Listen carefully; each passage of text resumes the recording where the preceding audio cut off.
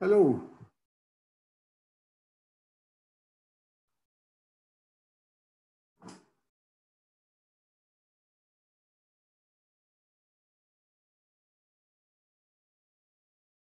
Hello, good morning.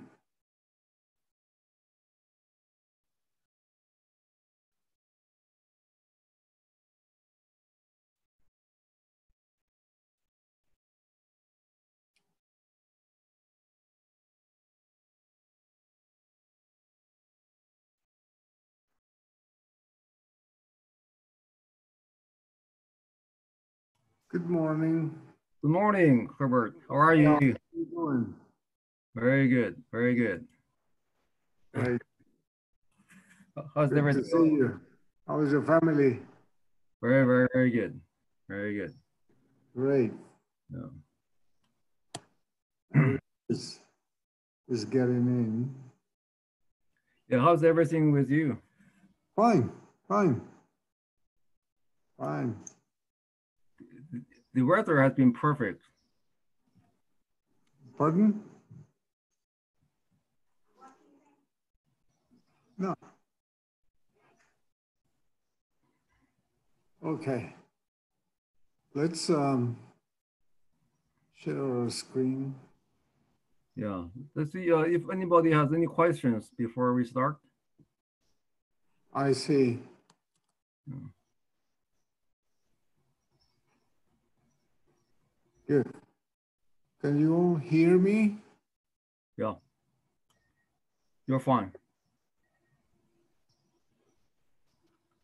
Okay. We were, uh, last time we were examining the issue of flatness in discrete time nonlinear systems, systems uh, described by, by a difference, nonlinear difference equation of this sort with a control input. And we had defined a flat output as, uh, as a special output in this uh, instance, we allow it to be only a function of the state x such that all the states are parameterizable in terms of that output and a finite number of advances. And also the control input is parameterizable in terms of that flat output and the number of advances in a finite manner. That's usually called a difference parameterization. S- some authors allow for the use of arbitrary uh, delays and advances at the same time uh, in regards to the influence of that flat output in the definition of the control or the state. That, that is uh, in some way masking dynamical feedback linearization. And this, the reason why we don't introduce it that way is that the first step in my belief, is to study the simplest case, and the simplest case is static feedback linearization. And uh, for that reason, we, we only allow the flat output to be a function of the, of the state alone. And that the difference parameterization has to be in terms of pure advances and not to include delays, past values of the flat output in the definition of, of flatness. And we, we gave a, a very simple example in which uh, a discrete time model of a so-called buck converter uh, setting the sampling time to one unit of time in a normalized manner uh, gives you this linear equation. In this linear equation, we see that already one of the states qualifies as the flat output. This state, which is the output voltage, qualifies as the flat output because the input current X1 can be written in terms of the flat output alone from uh, by solving from this equation. So X1 is just a function of the flat output and one of its advances. And of course, X2 coincides with the flat output in this case. It is not always the case that state as a particular state variable or the system output qualifies as a flat output. a special case. But in the, in the event that that happens, there is no difficulty and there is no uh, special consideration. So x1 and x2 are parameterizable in terms of y and yk plus 1. And, um, and from there, uh, the, the control input can now be placed also in terms of the flat output and a number of advances because x1 is already uh, in terms of y. x2 is just y itself. Therefore, the control can be written in terms of the parameterized uh, expression involving the y, the flat output, and a finite number of, um, of its advances. So it's very natural to have this sort of inverse map in which every aspect of the state space is written in terms of a variable that in this case has a quite significant physical meaning. And that, uh, that meaning is uh, just this, the, the output voltage of the system. So flat output allows you to explore all the properties of the state variables in terms of a particular uh, special output.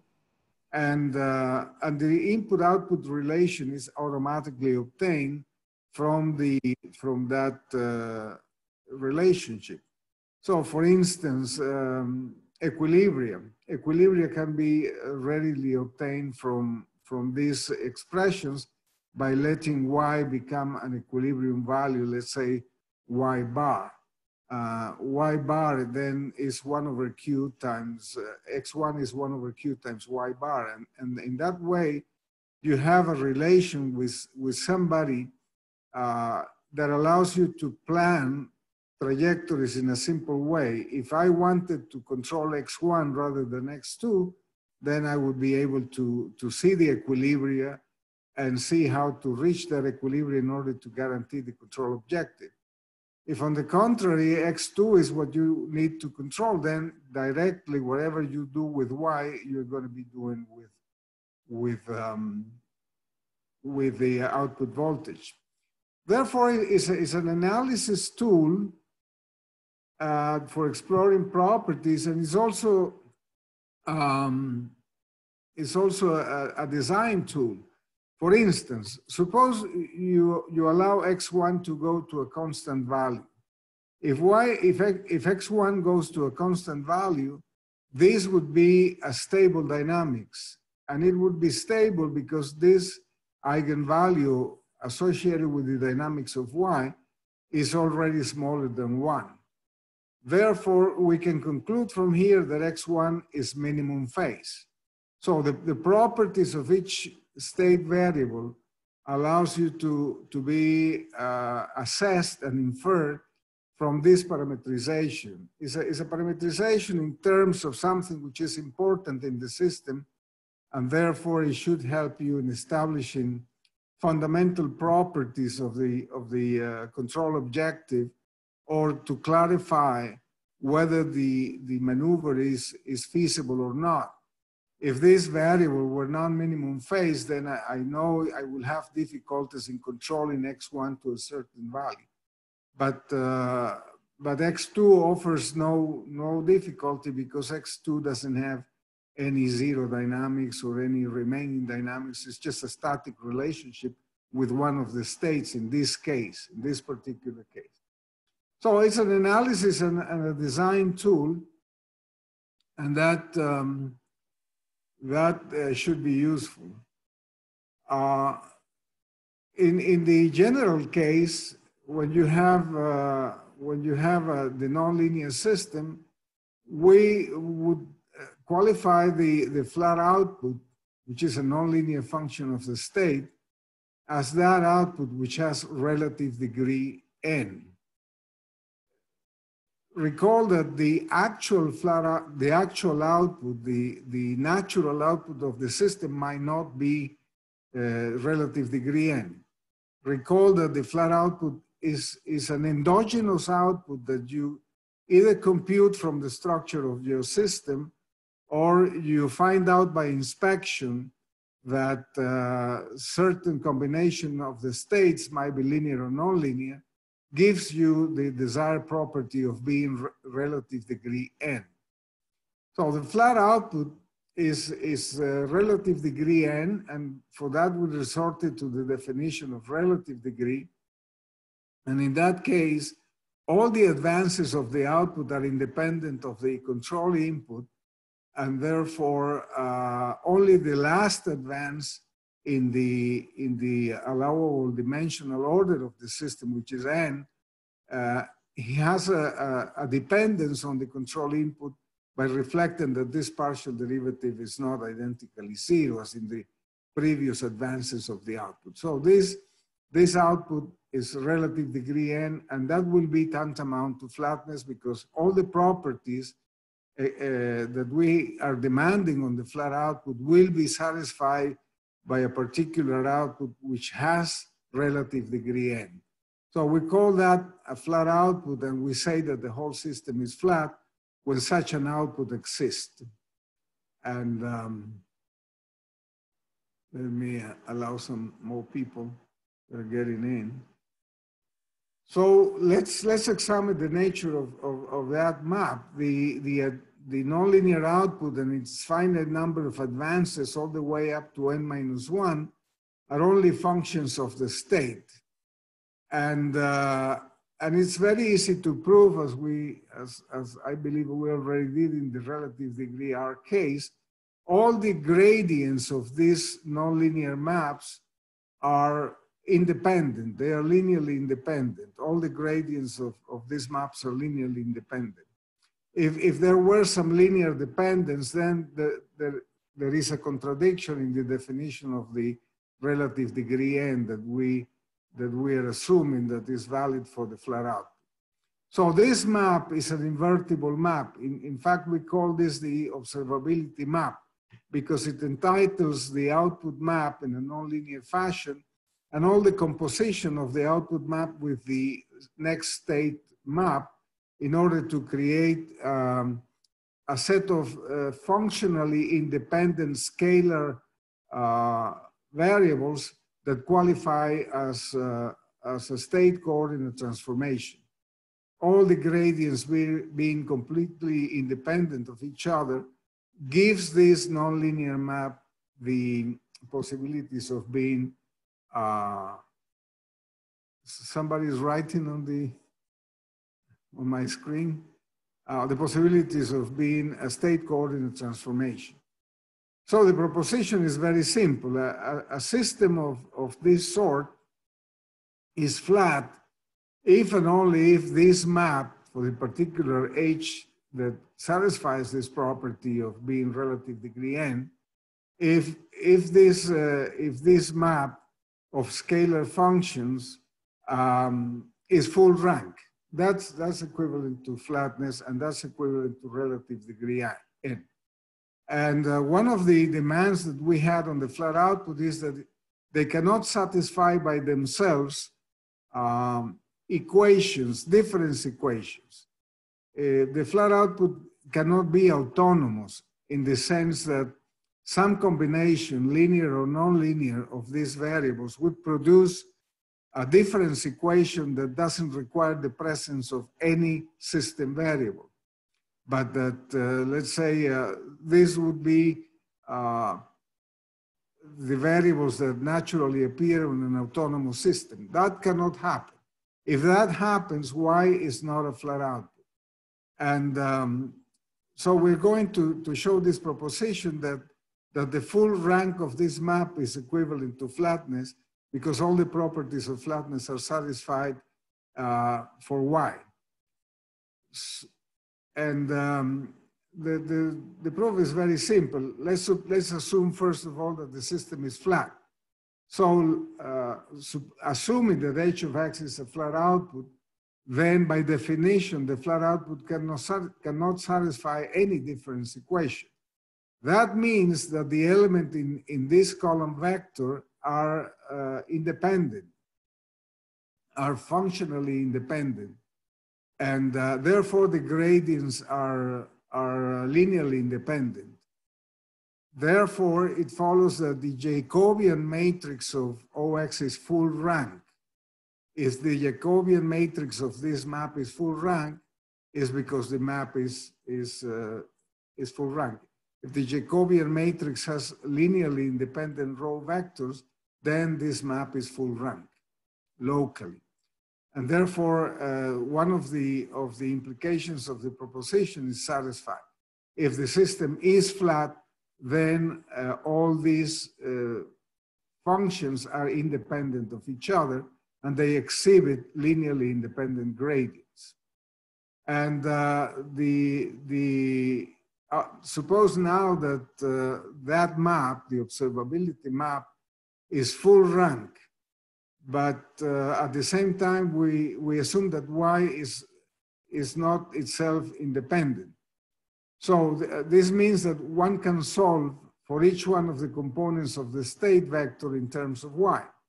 Because uh, being full rank, it means that since all these are only a function of xk and no control input appears here from the assumption of relative degree n, then we can solve for xk in terms of, of all these uh, advances of, sorry, advances of the, of the output y sub k. Therefore, xk enjoys a difference parameterization with respect to that variable uh, yk. And um, if you give a, a, a, further shift to that, you will surely hit the control because all of those advances of the output uh, will be, uh, will be, this would be a different uh, all, all, the advances of the output will be independent of you, but the nth one will be um, will be uh, dependent of you. If that is not the case, and as we're assuming, then uh, this would also have to be equal to zero. And that would mean that yk plus n evolves without any uh, presence of y. Therefore, y is an autonomous element because y and a finite number of, of its advances satisfy a, a, difference equation which is totally independent of the only other variable that I have to watch for, which is the control input. And that, that is a contradiction because, because uh, that, that violates the independence of the y. So um, if, uh, if, if, the, if this equality is not valid and this is different from zero, then the implicit function theorem tells you that in that advance you can locally solve for the control input. And the control input would be solvable in terms of the state and the next state. But since the, since the state in the previous definition was computable in terms of, of y and its advances, then the control input is also computable in terms of y and its advances, including one more advance for the output that is required for the state. That means that the system is differentially flat, is difference flat, and therefore Y is a flat output. So this, this theorem or this proposition is very simple in the sense that establishes the way that the, pro, the basic property that one should look for in order to establish the flat output. The flat output would be a particular output of the system, which is only a function of the state, such that the, the advances of that flat output all the way to n minus 1, where n is the order of the system, have to be uh, a function of the state alone. That means y has to be relative degree n. And uh, the dependence with the control input is, is, is forceful for the next advance of this output. Otherwise, y would be a totally independent variable that evolves by itself and cannot be controlled. And in that, in that manner, the whole system is equivalent to that because that map would be uh, an invertible map. Therefore, uh, we have a characterization of flat output, which is uh, easy to, to, to assess by inspection. One looks for, in the first place, one looks for a state variable that satisfies the property of being able to compute absolutely every variable in the given system. And by that, we mean every one of the states and the control input also. So knowing the flat output allows you to know everything that is inside the system and the relation that that output has with the control input. In that, in that uh, respect, is a complete examination of all the relevant issues surrounding the definition of the system, states and inputs. And of course, if the system happens to have a natural output, which is not the flat output, that natural output is also parameterizable in terms of the states and possibly the inputs, and therefore is parameterizable in terms of the flat output. So the canonical form for, for a flat system uh, requires no additional variables or complementary variables to describe the, the complete n-dimensional system. Only the particular output at its advances will be enough to, to obtain a complete description of the system. And that description will happen to be linear because the, the flat output and its advances are obviously related by this chain of, uh, of single advances or this chain of of uh, delays, uh, all relating the output of the system to the input of the system. So the, the relation between the actual input is, is fundamentally a linear ladder of uh, elementary relations all the way to, towards the output. And um, because the system is relative degree n, this nonlinearity appearing here in terms of the transform variables uh, will be a function of the control.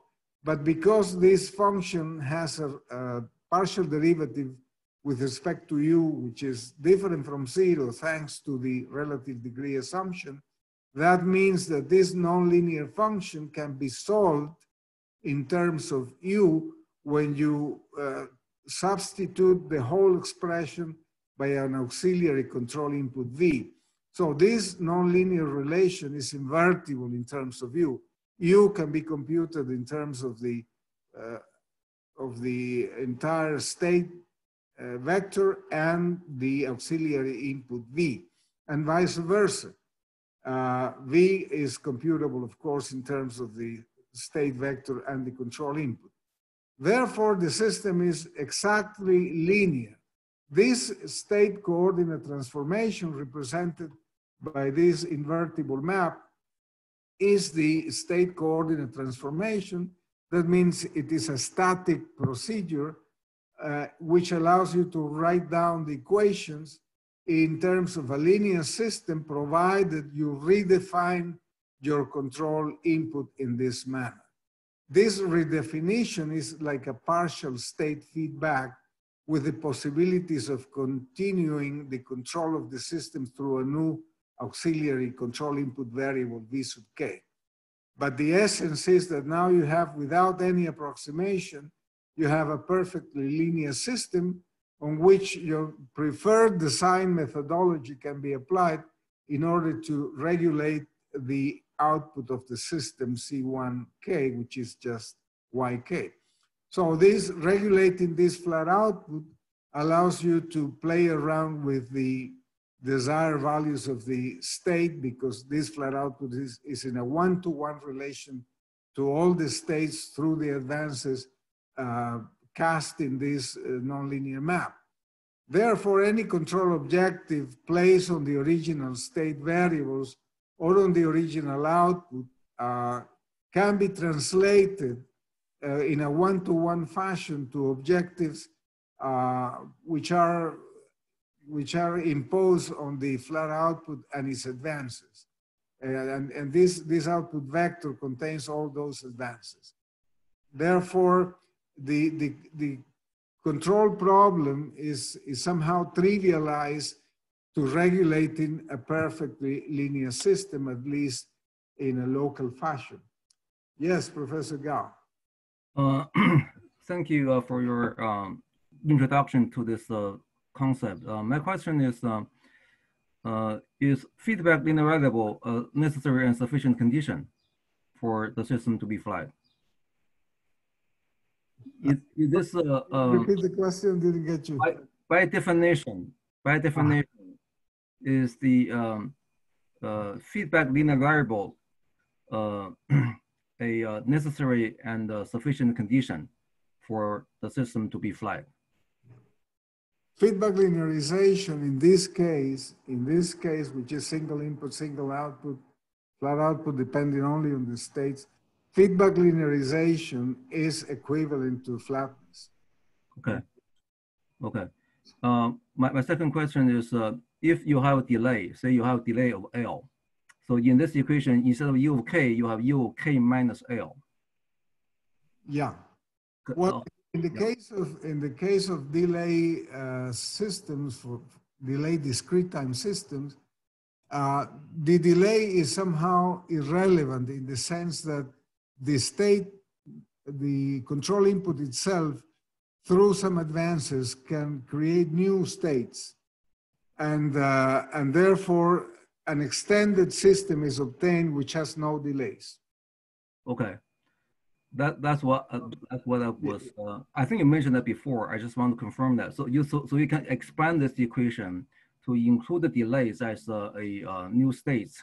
So therefore, you, you- you return the, uh, the, the equation to the form where you have U of K instead of U K minus L. Yeah, yeah.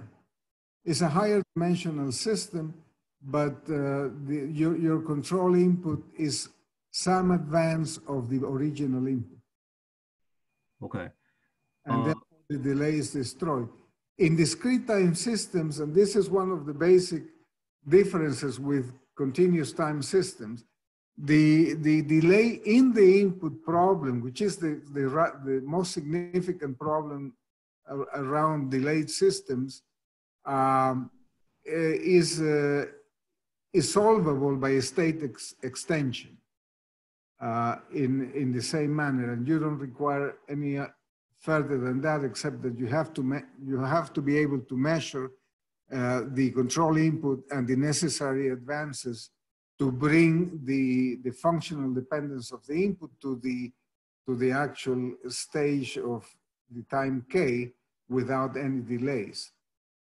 So in that, in that sense, the, the discrete time system is, is, um, is different from the uh, continuous systems because in continuous systems, you cannot do that. It's infinite dimensional, but not in discrete time. So it appears there's a significant, significant advantage of formulating the control problem in discrete time. Because in the continuous time, anytime you have a, a, a pure delay, you, the problem become very difficult and you put a lot of upper limit on achievable performance. So how, how would that be, uh, I mean, uh, intuitively that would translate into discrete time also. You have limitations on, on the type of performance you can achieve. So how would that be handled in this formulation? Yeah, the, the, the limitation relates the limitation that the discrete time model has with respect to the continuous time model in general. It, in, in nonlinear systems, it's very difficult to have a closed form expression for the exact discretization of the nonlinear system. So i- our discrete time system is an approximation of the continuous time system. And when you have delays, the approximation is, is, is still present. And that is probably one of the uh, problems in which you can run into. If, if, you, if you have, uh, you're dealing with an approximation for a delay system, which in essence, in the continuous time manner, is infinite dimensional. And uh, in the discrete time setting is finite dimensional. And the, the way to relate them both is through the transfer function of the delay. The delay is, uh, transfer function is just an exponential function uh, uh, with a, some finite time delay or with a time varying delay. And that exponential function can only be approximated by a finite polynomial in the variable s. The same happens here. Uh, that, that the approximation already implicit in the discretization will, will affect your performance when you do the control via, via system ex expansion because that expansion is finite dimensional and the nature of the delay is infinite dimension.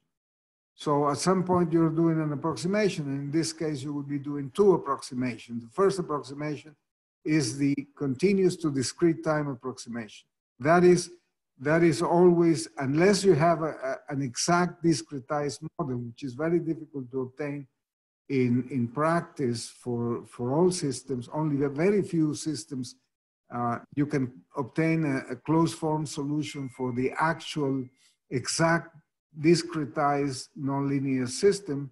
And uh, normally you have to settle for an approximation. That approximation is short of what you need to handle delays in continuous time. In continuous time, the delay is infinite dimension. So to, to a certain extent, if you have a native system which has a delay, then there is no problem. The, the state expansion will give you an exact model for that native system. But if the system comes from sampling, you already have an approximation issue. And what you're doing is you're trying to approximate by a discrete time system, which is finite dimensional, something which is infinite dimensional and continuous. I absolutely agree. You would expect some degrading of the performance when you when you try to manipulate your discretization, your approximate discretization, uh, with uh, with all the comfort that you can you can achieve, uh, because because uh, the approximation is there, and you didn't solve that problem in the first step. Good. Thank you. Thank you very much. Um, are there other questions? because This is an important uh, uh, point. Yes in your uh, presentation. Uh, so maybe other uh, professors, uh, students uh, have questions. But uh, this is significant because now we're, Michel Fliess recently published a paper on how model-free control can be used in Internet of Things and this fashionable modern trends. Um, but I think a fundamental problem is when you control something over the network, maybe over the 5G network, like uh, autonomous vehicle, the, the data uh, packets uh, tra are transmitted uh, in discrete time. So by nature, the system is discrete. So if we add this to the toolbox of uh, how we go about handling those uh, dynamic systems and control problems, this could generate a lot of interest my, my, my, my final question here, because this is uh, so intriguing. Uh, to what degree you are uh, subject to um, precise modeling? Because uh, the, uh, the definition of a slide output, that relationship has to be precise. Um, yeah. Right? But, but the system dynamic doesn't have to be, right? Yeah, that, that, that's absolutely true. That's a, very uh, general and ubiquitous problem in, in, the application of control system theory to actual uh, real systems. We assume that the, that the model is, is known, at least for a, for a large class of systems like you know, mechanical systems or electromechanical systems, even some chemical systems, you, you do have a, a, a very precise model coming from very well known laws like you know Newton's law, or Euler-Lagrange equations, and and some some of the laws that dominate that. So you do have a precise uh, view of the of all the nonlinearities which are relevant in the system. But of course, you know that some parameters uh, are not precisely known, no matter how much effort you, you invest in, in knowing the precise value of an inertia or an elasticity, there are some, some errors in the, in the measurements. There are some nonlinearities in, in a linear spring. Uh, there are some nonlinearities which, which can be excited at, at some point beyond, beyond the operating region. And all these, all these defects of, of your description of the system, of course, they will appear when you want to uh, close the loop with a, with a law that that was based on an ideal model. That, that's a perfectly general model. The great advantage that active disturbance rejection has is that you're, you're basically forcing your system to the model that you are adopting. And if the model is clean enough, because you're, you're estimating whatever nonlinearities are being excited in the actual operation of the system, or some other external influences are being uh, estimated in a rather close manner and, and they are either annihilated via feedback or they are attenuated via, via proper compensation, then, then you're bringing uh, the, the reality of the system closer to your, to your uh, model. And therefore the behavior is, is very, very much uh, described by the model that you adopted. But this is a unique feature of, of robust control, perhaps in general. You deal with the uncertainties that you know are there, and most of the uncertainties come in the modeling stage, and some other uncertainties come from the environment in which the system is, is operating, and you don't know them precisely, and, and you cannot afford to measure those in a manner that requires a big investment. Therefore, you, you are uh, in the science of control, you, you, have some defect of your of your um, of your model with respect to the reality it portrays. The assumption is that your model portrays relevant re re realities, and those relevant re realities uh, is what you can actually measure, and you can give a little bit of freedom to wander around that particular ideal behavior. And that is usually how, how life goes on. I mean, you, unless you have a very precise problem of controlling uh, an arm robot to nano, nanometers, uh, of course you cannot afford, uh, you know, oscillations of millimeters, but uh, in, in a normal process, you, you, it would be still okay if, if you don't reach that degree of precision. And that depends very much on the model and the, and the control scheme that brings you closer to the reality reflected by the model, which is supposed to be on the, the most important part of the reality, the relevant part of the reality. But you're absolutely right. All these techniques rely on, a, on the knowledge of of your, uh, of your model in a quite precise manner. At least the structure has to be very well known so that you can assess equivalence with something which is perfectly linear. That is true. Uh, how much it deviates from this, uh, from this uh, ideal behavior? Well, that's, that's, uh, that's a choice that your control has to solve, at least in a reasonable fashion. That, that's probably uh, the best that people can do in all circumstances. Uh, yeah, I, I, I just couldn't help, but I, I, I want to ask you this. Khalil in 2008 published a paper called Performance Recovery. The, the basic idea is in, in continuous time, he reduced the system to something like this, to a, to a, a canonical form, and he uh, designed the uh, whatever performance, uh, uh, uh, whatever control law to satisfy performance.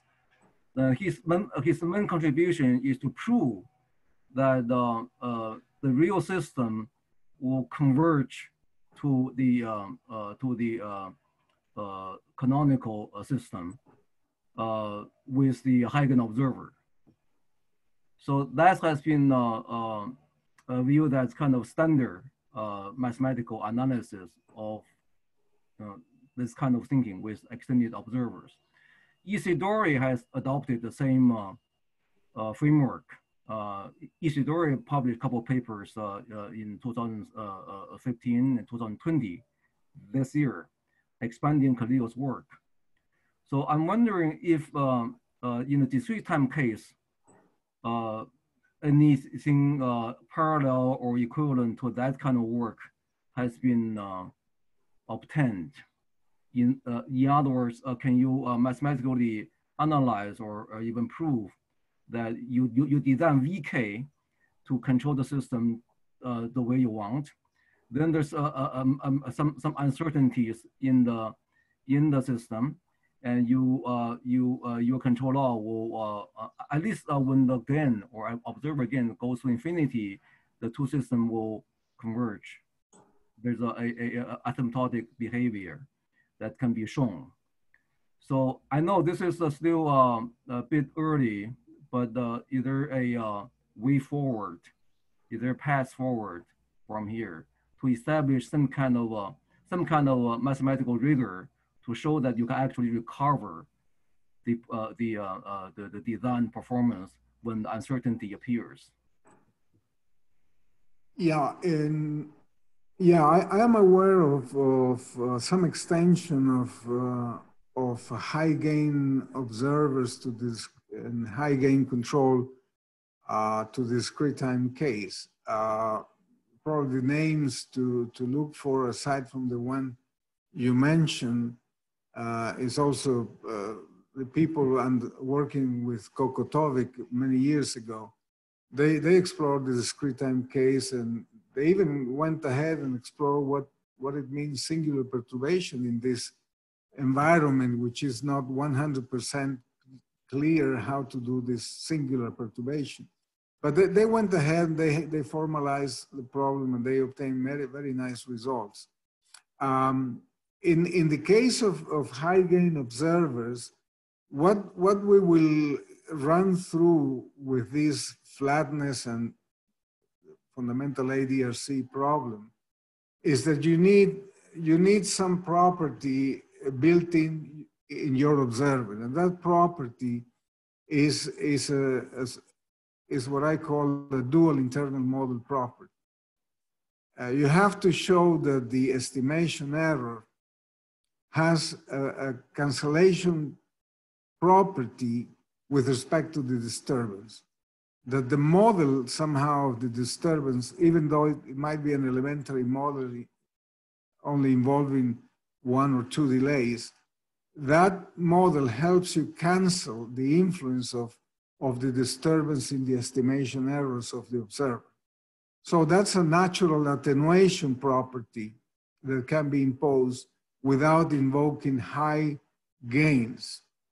You see, in discrete time, in the discrete time, high gain is, is not a natural concept. This is not a concept that comes out of, of a time scaling or comes out of, of letting something be infinitely large uh, and then saturate to some value, like a switch or something like that.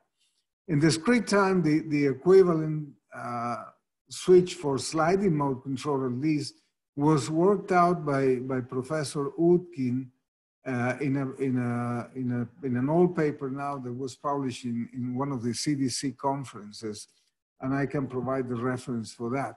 And uh, it turns out that the problem is a problem of inversion at the, at the end, and, and you need some finiteness assumption because you cannot invert the switch. You can invert the saturation function, but you cannot invert the switch. And so any, any inversion that is required by, by, the, by the theory uh, will give you an approximation. And so the performance will not be as good as in continuous time. But uh, of course, even in continuous time, the presence of high gains is assuming that you have not dynamics which is excitable by, by, the, uh, by the infinite gain uh, control input. And th that's a big assumption, not to have the hidden dynamics that usually is excited by the high gain controller or that will be present in the estimation errors of some high gain observer. Um, this issue is very delicate in, in continuous time. I mean, under the assumption that you don't have these hidden dynamics, of course, you can go ahead and, and propose a, an infinite gain controller with saturation, like a switch.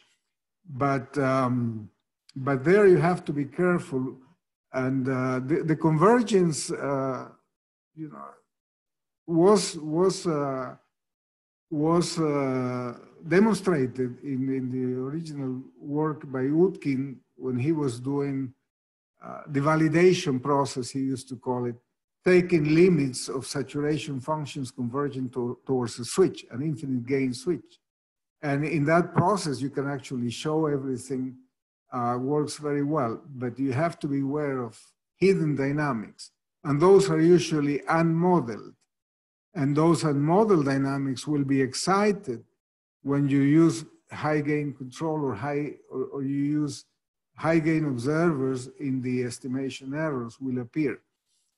There, therefore, that is, that is very, very uh, interesting uh, area in which uh, you don't have the full advantages of continuous time in the discrete time case.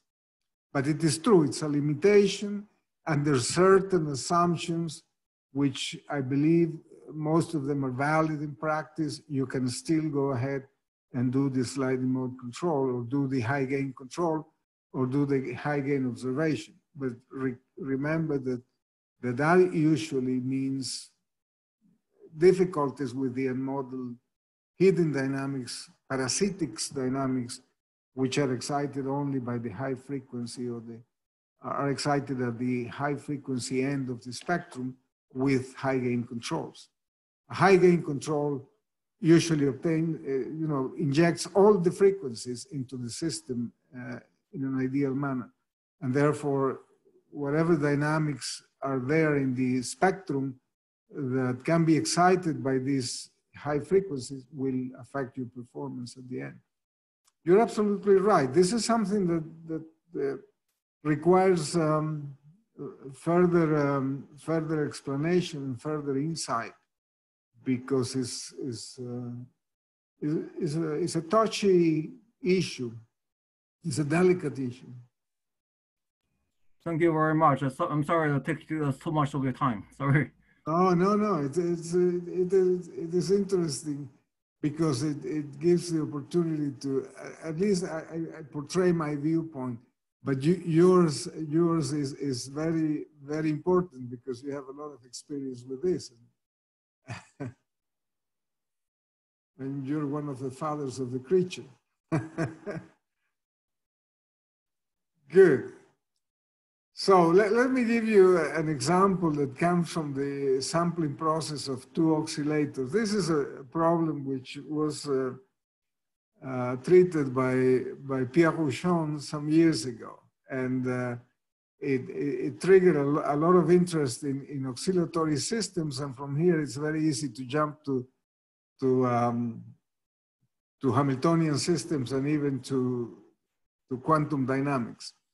So if you have a coupled, uh, two coupled oscillators, suppose you have two coupled oscillators, but they're controlled by the same control input. And, and they are characterized by different natural frequencies. So this, are, this is a set of two ideal oscillators. Think of an LC circuit and another LC circuit and the same control input is in the middle trying to control the two oscillators on the side. And um, and uh, this very much looks like something that you cannot control easily. And uh, the necessary and sufficient condition to be able to control the system will be that the natural frequencies uh, are going to be different. So if you sample that system, you obtain a fourth, fourth order discrete time system where this delta uh, is representing the sampling interval and, uh, and the control inputs appear here, exciting each one of them uh, in the same manner, the, the, the discretized oscillatory system. And uh, if you take, if you take uh, a fortunate output, from here it's not, it's not easy to see what the flat output is, but, but you sort of suspect because of the symmetry of the two relations that the difference of variables will have to be involved because that difference of variables uh, takes away the, the control and you need a, a, higher relative degree, like a fourth order, fourth relative degree for the flat output to exist. And um, so we, we tried the difference of the two positions of the oscillators, the, the position of oscillator one and the position of oscillator two, and you establish the difference. This is not a natural output of the system, but you can actually see that this is a, an endogenous uh, variable because it's constituted by the difference of two, two state variables already present in the subsystems. So if you take uh, that fortunate guess and you start computing the advances, the first advance is this, uh, is this difference of, let's say, velocities in some way. And uh, the second advance already uh, contains the presence of, uh, of the uh, oscillatory frequencies. And, but no control appears in, this, in these three advances. You take those three advances and, and you don't get the control. But only the fourth advance of this output will exhibit uh, an influence of the input in an explicit manner.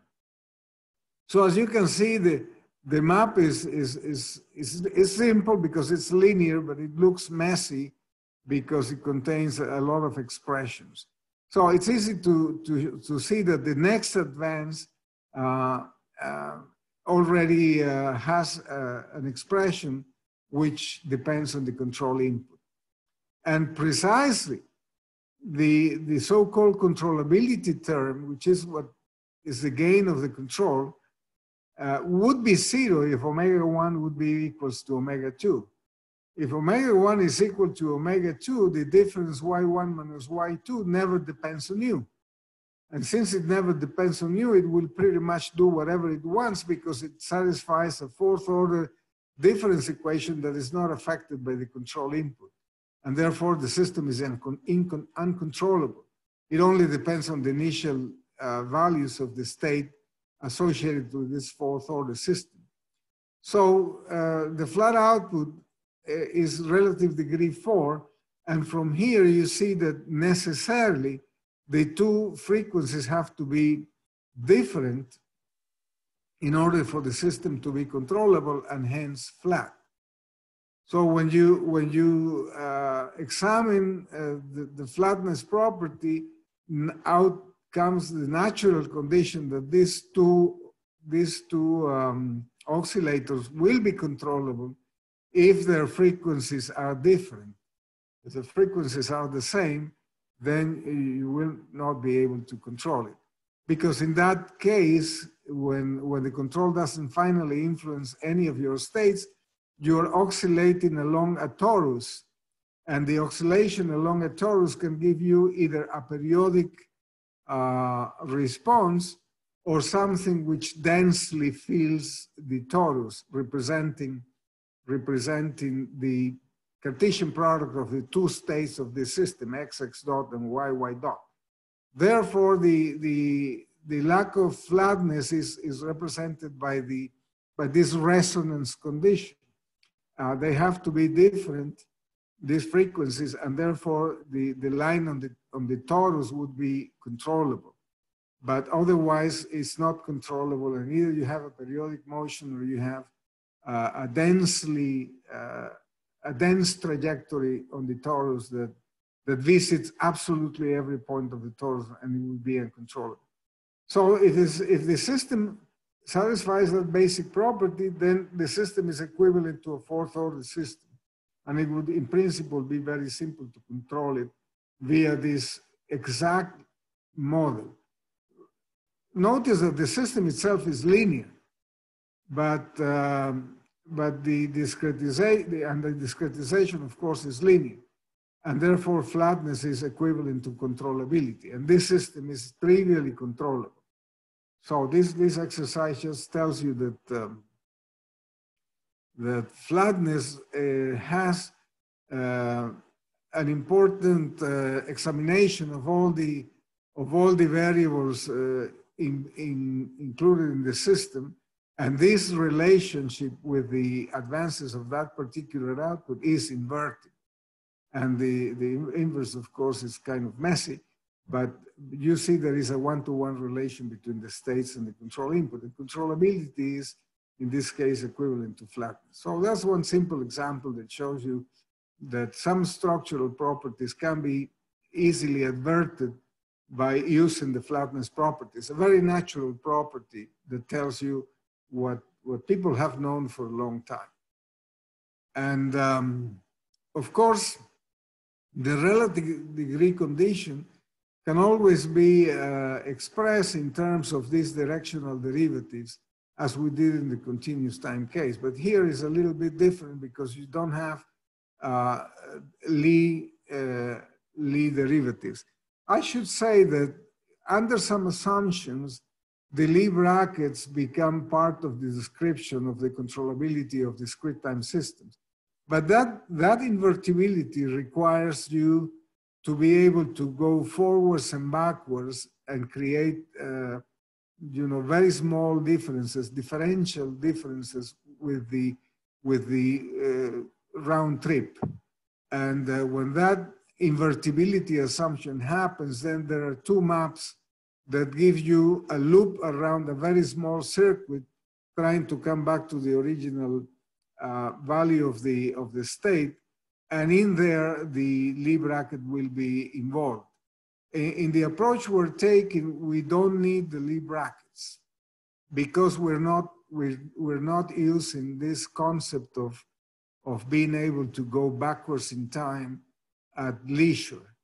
Uh, we are all, we're restricting our flatness uh, definition uh, only in a forward manner and the flat output and its forward advances need uh, to parameterize the state and the inputs, but not, but not uh, going backwards in time as many authors have, have, uh, have advocated. And in that, in that respect, the, the, the same problem that you have in a, in a Lie group, uh, in a sample Lie group, uh, to involve or to recover the, the Lie derivatives and the Lie brackets uh, is by means of, of some invertibility in a differential manner around the evolution of the system. We're not using that here, and that, that should prevent you from, from comparing this, this work with some other which is much more complicated, much more difficult to, to understand because it, it uses deep uh, results from differential geometry and algebraic geometry. Here we don't require that machinery and we, we establish the fundamental properties in a simpler manner. So here, uh, the, the directional derivatives uh, pushing the definition of directional derivative a little bit uh, because in reality is is all these maps are are are not uh, I mean they come they come from a tangent bundle. They they, they are not as precise as in the continuous time case. Um, so in in this case we can we can uh, express the the relative degree assumption by means of these uh, advances of the output in terms of directional derivatives that involve the state map and the input map. And uh, they're very natural. All, all these have to be zero for the system to be relative degree n, and only this one, this one map, uh, eh, portraying the directional derivative of h in the direction of the n minus one's power of the state map times the control input map gives you something which is different from zero. This is precisely that. And this will give us a way to formally compute the flat output through its grading. When you translate this n minus one properties and this final nth property into gradients multiplied by this quote unquote vector fields here, you obtain uh, the product of this row matrix times the column matrix of, of this uh, arrangement. And, uh, and all of, of, of, the products will be zero as, as this condition uh, reflects, except for the last one, which is going to be different from zero and can be a function of the state. This, this incidentally will be, in general, the quotient of two analytic functions. This will be a meromorphic function. So the gradient of the, of the um, flat output is orthogonal to all these, all these uh, vectors except the last one in which it's alpha of x and it's non-zero. So that condition allows you to compute uh, the gradient of the flat output as the last row of the inverse of this matrix, which has a striking resemblance to the controllability matrix and uh, particularizes to the controllability matrix in the linear case. So the, the way to compute the gradient of the flat output is to obtain the last row of the inverse of the controllability matrix and anything which is proportional under a meromorphic function to that to that uh, to that row uh, will qualify as the gradient of a possible flat output. So the degree of freedom is is is in this function alpha of x. This function alpha of x is, is irrelevant as far as the structural property goes. But uh, you can choose it in order to make this gradient acceptably simple in order to be able to integrate and find h. This, uh, this gradient is a, gives you a very elementary integration problem in which you have to find the primitive in space of h so that its gradient equals something which is known. And that which is known is this expression. So the, in, in essence, the row gradient of the flat output, when you don't know the flat output and you want to compute it, can be obtained modulo scalar non-zero proportionality factor function as the last row of the inverse of the controllability matrix. So you recover the property from linear systems. And if you particularize everything for the linear case, in which you have a linear map as the next state and you have a linear function of the state as the output map. All these matrices are just uh, very well known like A and B. Uh, this gradient is A and this partial of E respect to U is the vector B. And, uh, and the directional derivatives uh, coincide with the Markov parameters of the discrete linear system. This is the first Markov parameters. This is the second Markov parameters. This is the n minus one Markov parameter. And the last Markov parameter will be different from zero, indicating that the output is relative degree n. This linear function of the state has a gradient, which is just C transpose. So in order to compute that, that gradient, you, you obtain the controllability matrix, you take the last you invert it, you take the last row of the controllability matrix and you let it be proportional to that row, and that will give you C in this particular case. So the, the, the state map in the, in the particular linear case coincides with the, uh, I mean, the, the, the map that gives you the state coordinate transformation to obtain the flat output will give you the observability matrix in the linear case. That means the flat output is observable, and that means that the flat output is able to parameterize every state in the system and including the control input.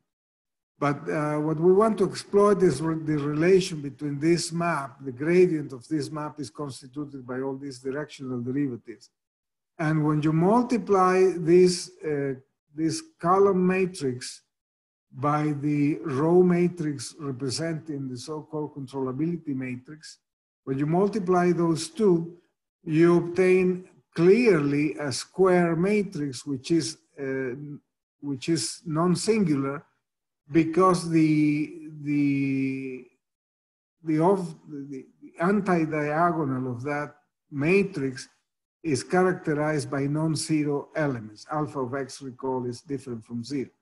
So when you do the, the product of the observability, the gradients of the observability map times the controllability map, you obtain an invertible uh, n by n or a full rank n matrix. And that full rank n matrix combined with the full rank nature of the observability map tells you that this matrix has to be full rank also. So the invertibility of this matrix is not in question because we were using the inverse of that matrix without actually knowing if this matrix was invertible or not.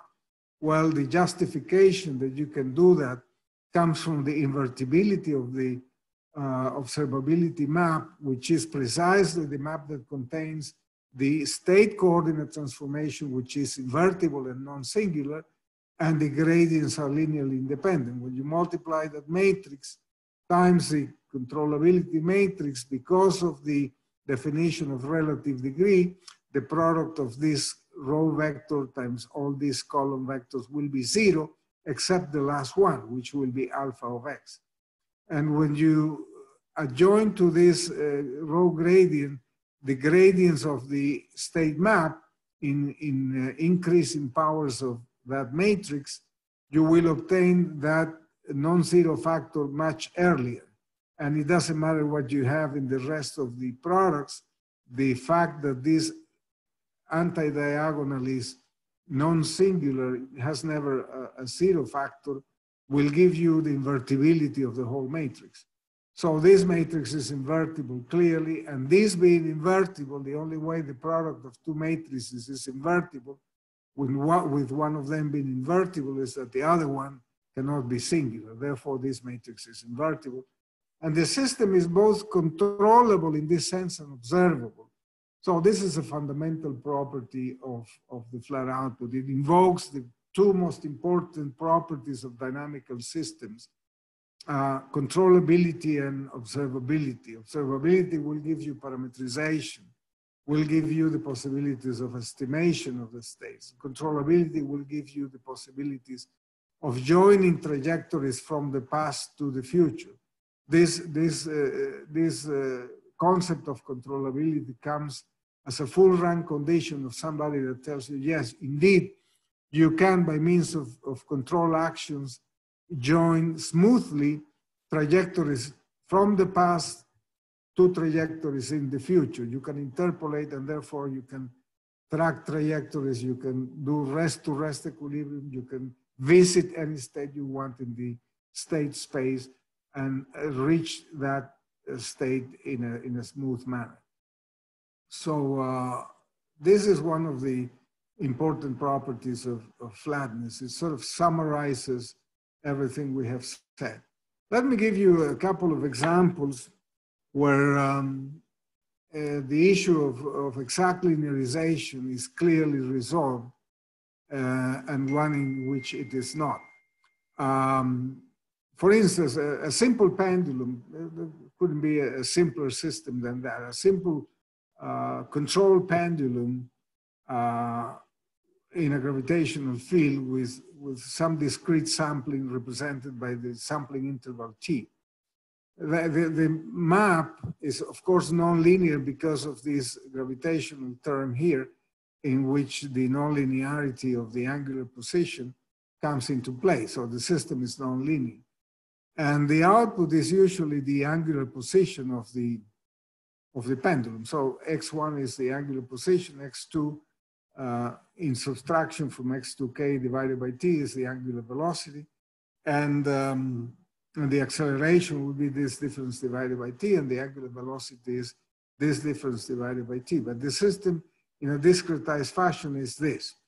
This system is, uh, has a very mild nonlinearity, and the nonlinearity is somehow matched to the presence of the input. That means that from the input you will be able to eliminate nonlinearity. And this is at the, at the, at the heart of active disturbance rejection control. You, you have a matching condition in the input output uh, representation, and therefore the control is in front of your un unknown nonlinearities. And therefore that allows you uh, to cancel them provided that you can observe them.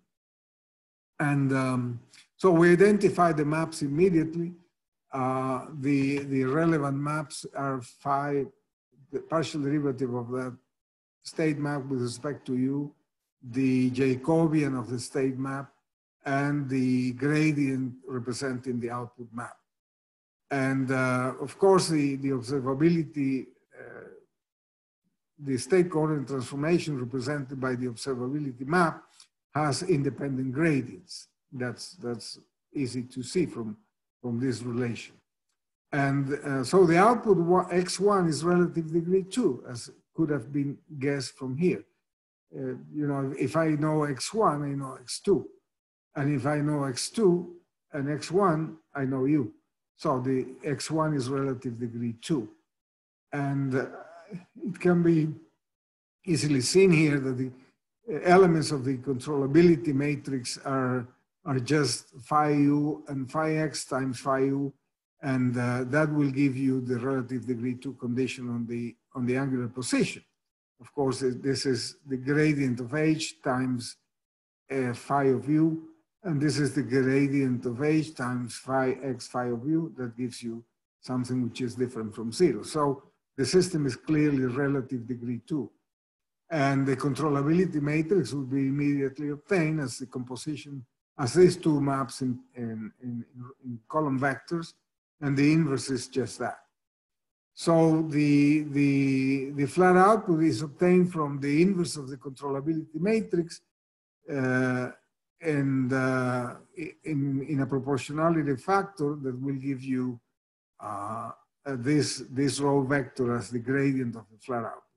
That means that uh, you can take x1, the first component, as the actual gradient of the flat output because alpha is anything you, you want. So alpha can be t squared and therefore uh, choosing that you have x1 as the flat output.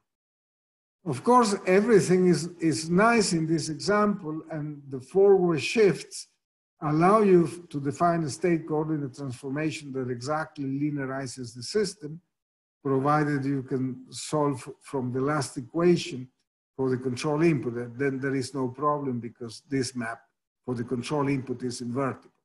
And that comes from the relative degree condition. The, the partial derivative of, of the advance of the output with respect to u is different from zero, and in fact is equal to t squared. So there is no structural problem here. And you can, you can obtain the canonical form very easily. I mean, this is a state coordinate transformation. It's trivial and, and it's an invertible state coordinate transformation. And the canonical form gives you a, a nonlinear term which can be solved for you when you replace all this expression by, a, by an auxiliary control input V. Therefore, the system is linear and linearizable, and, and uh, the forward shift uh, viewpoint allows you to assess flatness, and therefore you can easily control the system.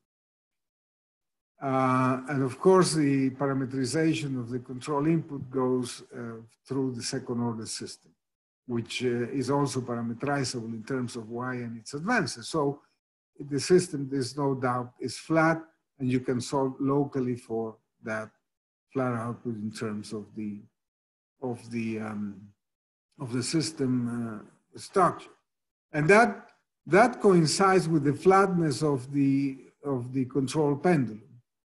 Uh, there is a so there would be a one-to-one -one relation here between the the equations of the control pendulum and the equations of the discretized pendulum.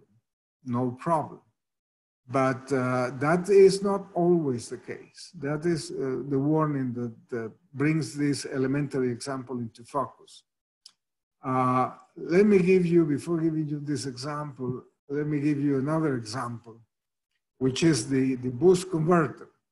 The boost converter is nonlinear. It has, it has these nonlinearities here, has an equilibrium point in the average. We can treat the average system by a process which is called state averaging, which is in this case gives you this exact same model as in the switch case, but u will be replaced by, let's say, a duty ratio, or u would be a smooth function varying between zero and one. So the average model is no different from the actual model, except that the interpretation of the control is in average term. In the average model of this nonlinear system, the equilibrium is very easy to to be assessed. If the, uh, if the equilibrium for X2 is the, which is the voltage, is the value capital V, then in equilibrium, these two, uh, these two uh, states coincide. Uh, division by T doesn't affect you. So in equilibrium, U is the inverse of this equilibrium voltage and uh, the equilibrium voltage would be V. And from this expression, when you in, impose the conditions of equilibrium, the x1 can be computed in terms of the equilibrium x2 and the equilibrium of u, which were already computed. So the equilibrium is perfectly determinable from the system dynamics. And uh, what I want to, to uh, emphasize here is this system is not feedback linearized. Nevertheless, the continuous time version of the boost converter being nonlinear uh, is feedback linearized. The, the average model of the continuous version of the boost converter is feedback linearizable. And the flat output is, is the, the total stored energy. The flat output would be x1 squared divided by 2 plus x2 squared divided by 2. That is the flat output of the continuous time system. In discrete time, this model does not accept that as a flat output. Because even though in the two advances you will reach the, the control input, the map generated by the two advances of that output is not invertible. It's not invertible in the state space. You need to remember something from the past in order to be able to invert. So you need two extra state variables to make that transformation invertible. But now you will have a fourth order system which is only linearizable up to second order. And the other two states uh, are required in order to find that inverse transformation. So the, the observability map is not invertible in the state space that you, that you have advocated here by naming currents and voltages as your original state variable. That, that is not feedback linearizable. It is linearizable partially by dynamical feedback. And uh, this is another big difference of, of discrete time systems with the continuous time counterpart. Uh, in the continuous time part, counterpart, continuous systems, which are single input, are static feedback linearizable without, if they are feedback linearizable by static state feedback and input coordinate transformation, uh, it has been shown that, that that is the case of, of the continuous single input, single output nonlinear system. When, when uh, you cannot in the continuous time case, when you cannot linearize your system by static state feedback, you cannot linearize it by dynamical state feedback either. In continuous time systems, uh, static feedback linearization is all you have. If, you, if that is, doesn't work for you in linearizing the system desire, then dynamical feedback linearization doesn't buy you anything that you cannot achieve with discrete with with feedback linearization in a static manner. However, in discrete time systems, systems which are uh, not feedback linearizable by a static state feedback, like this case, can be partially linearized in the original state variables by dynamical state feedback. But it's only a partial linearization that recovers the dimension of the original system as you wanted. But the flat output, in order to invert the transformation, you require more states that are not present in the representation. So this is a fundamental difference with continuous time systems dynamical feedback linearization has something to say in the single input, single output case. That is something that in the continuous time case does not exist. Feedback linearization in a dynamical manner has nothing to contribute to the linearization of single input, single output systems in the continuous time, but they are relevant in the discrete time. But remember, that linearization is only partial. And you got away with the linearization of the two original state variables. But your state space has been incremented by two dimensions in order for you to have an invertible state coordinate transformation. And, uh, and why uh, is that invertible state coordinate transformation important or relevant? Because you want to implement your control inputs in terms of feasible states that you can measure. And in this case, you have to remember the past value of two states. And of course, a computer can do that, but that, that already occupies two extra slots of memory that in the continuous time case, you didn't have the need to do. So this is something which is not equivalent by any means to the continuous time case.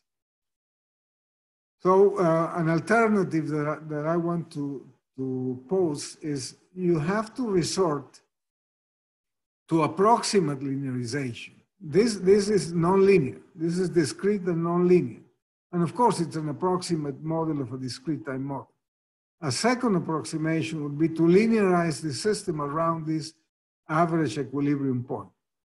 And in order to do that, you introduce incremental variables. And these incremental variables are just the discrepancy of the actual variable from the equilibrium values. So by introducing that, those incremental variables, you have a linearized model of the nonlinear discrete time system. Now, this linearized model happens to be controllable and the controllability matrix is full rank and therefore you can invert it and obtain the flat output. And you can see now that the last row of the inverse of the controllability matrix times some constant factor that eliminates some of the of the deltas and the q's here um, will give you will give you uh, the flat output. And this flat output uh, has, has nothing to do at first sight with the total store energy of the system. Of course, it does have some, some relationships with the power because you're multiplying voltage times current, and this, uh, this voltage is even multiplied by a number one, which is the normalized voltage source input. So this is the units of this would be voltage square, you know, energy, and this is current times voltage divided by the resistor. That gives you the voltage square. So it's, it's an energy, but it's a very hidden energy. And it doesn't have the quadratic nature of the energy, and therefore you don't. But this is the flat output. And uh, the observability matrix associated with that flat output is full rank. So this is, this is a point that, uh, that, that I wanted to stress as a fundamental difference between inputs and outputs and uh, discrete time uh, nonlinear systems and continuous time counterparts. Here is another uh, little example involving DC, DC to DC power converter feeding a DC motor this power converter is, is linear, is the buck converter, and is feeding a DC motor, and you have a fourth order system.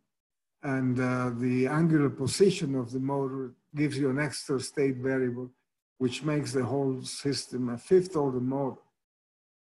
Uh, here, by inspection, you could actually tell with some patience what is the flat output. The flat output happens to be the angular position of the motor uh, at first sight, this variable, uh, you, you see, you might run into a lot of complexity before you reach the control input, but by inspection, it's very easy to assess flatness here.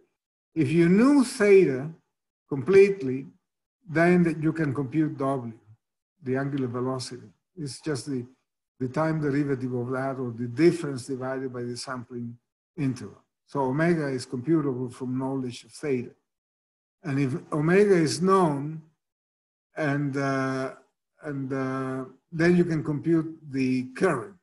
This is a disturbance torque. The disturbances don't enter into the description of the structural properties. This is a, a rule of a golden rule.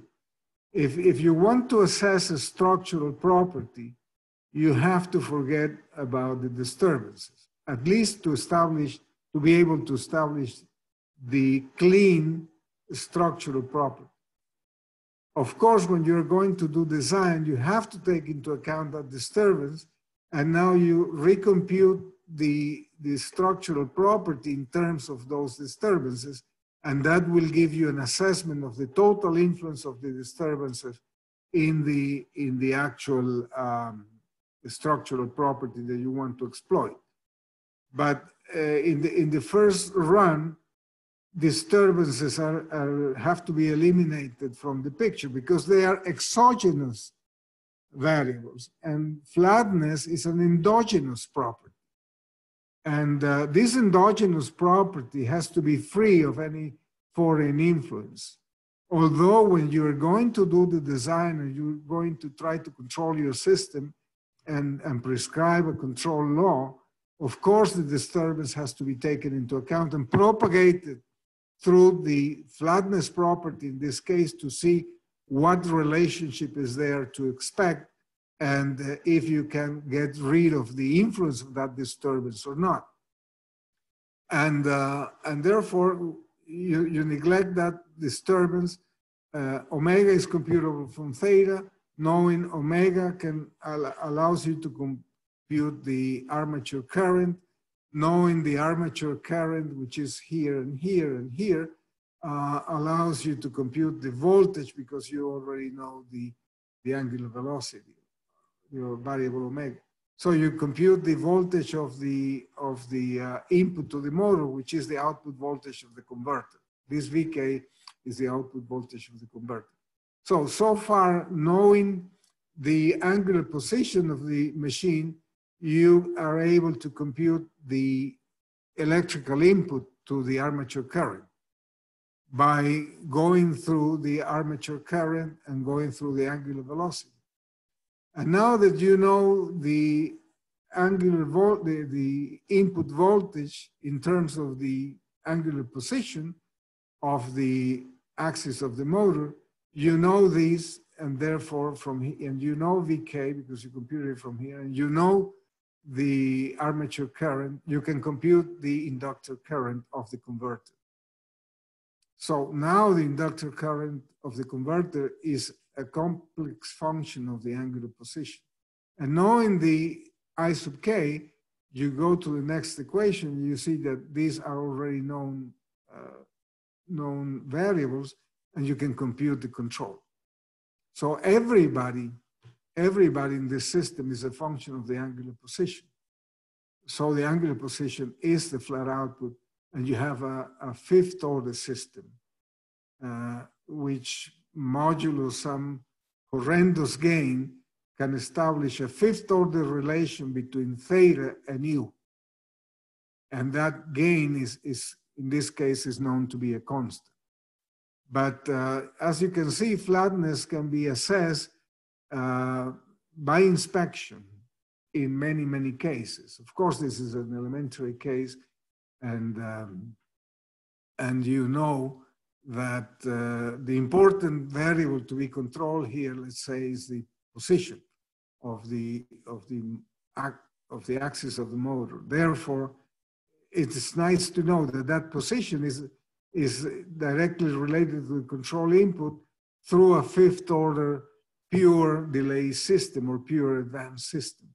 And the rest is just uh, all the endogenous uh, garbage, for, forgive me for saying that, that will give you all the, all the interrelations between the states going in their way towards the control input from this particular special output. So this, this, this uh, example shows that, that you can actually do that by inspection uh, in a system. And of course, if you want to compute precisely the influence of the disturbance, now you put everything in terms of the flat output and the disturbance, and that will give you a, a perturbed difference parameterization. And those perturbed difference parameterizations are very nice to know when you want to solve uh, trajectory tracking problems because the influence of that, of that disturbance, whether they are constant or not, can be assessed in the parameterization. And uh, in some instances, it, it gives rise to strategies that you can use in order to make your system insensitive with respect to uh, the presence of, of those uh, disturbances, which might be constant or might be time varying. So the, the, the, flatness provides you with a tool, and that tool allows you to give uh, uh, an answer to the control problem in a structural fashion, and then you take care of all the details. If you don't know some of the parameters, then you have to implement some, some um, you know, uh, identification process in order to be able to compute them uh, sufficiently fast in order to complement your control law. But uh, the structural basic problem is fundamentally solved from the idea of examining the relation of the flat output, if you can find it, with the input. And, uh, and, uh, and another example, very simple example of a chemotherapy problem in which you have uh, two types of cells evolving and you want to control the, the growth of one of the populations of the cells through a control input represented by the chemotherapy uh, in a very elementary manner, you can actually show that that nonlinear system um, has a controllability matrix, which is even the, even uh, the elements of the controllability matrix are dependent on the input. This is a truly nonlinear system but the gradient of the inverse of the controllability matrix are proportional to this vector. So from here, clearly N2 is the flat output. And the way to assess it by inspection is if I know N2, then I, I know N1. And knowing N1, I know all these terms, I can know U. And, and that is the, the inspection test that, that readily gives you uh, controllability. And then you go to the details of establishing the, the parameterization, the difference parameterization in terms of flat output and possibly the input output relation. In, in active disturbance rejection control, this would be a very, a very substantial identity that, that allows you to carry out the design by neglecting all these nonlinearities and, uh, and uh, you know, establishing what you need in order to determine this, this uh, gain. But in essence, the system is a second order system related to the, to the input by means of a, of a nonlinear gain and a, a nonlinear endogenous uh, disturbance. If, if, if you want to neglect all these terms, it can be done by means of active disturbance rejection control, provided that you can cancel reasonably this nonlinear gain. Therefore, um, flatness gives you that way of assessing, assessing many properties of the system and, uh, and do design, of course, carry out the design. All the influence of any disturbance that appears in the system will either appear here or more, uh, more uh, difficult, the most, the most difficult cases when the disturbance also affects the gain, because then you're forced to replace the design gain by something which reasonably uh, portrays the actual value of the gain, which might be infected by the presence of disturbances. That incidentally happens very much in the boost converter and many other converters, which are nonlinear. Um, Okay. I would like to know if there are any questions.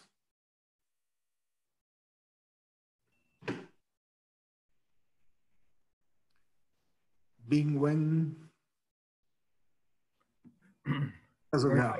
We're in that lecture. Yes. Uh, are there any questions from the audience?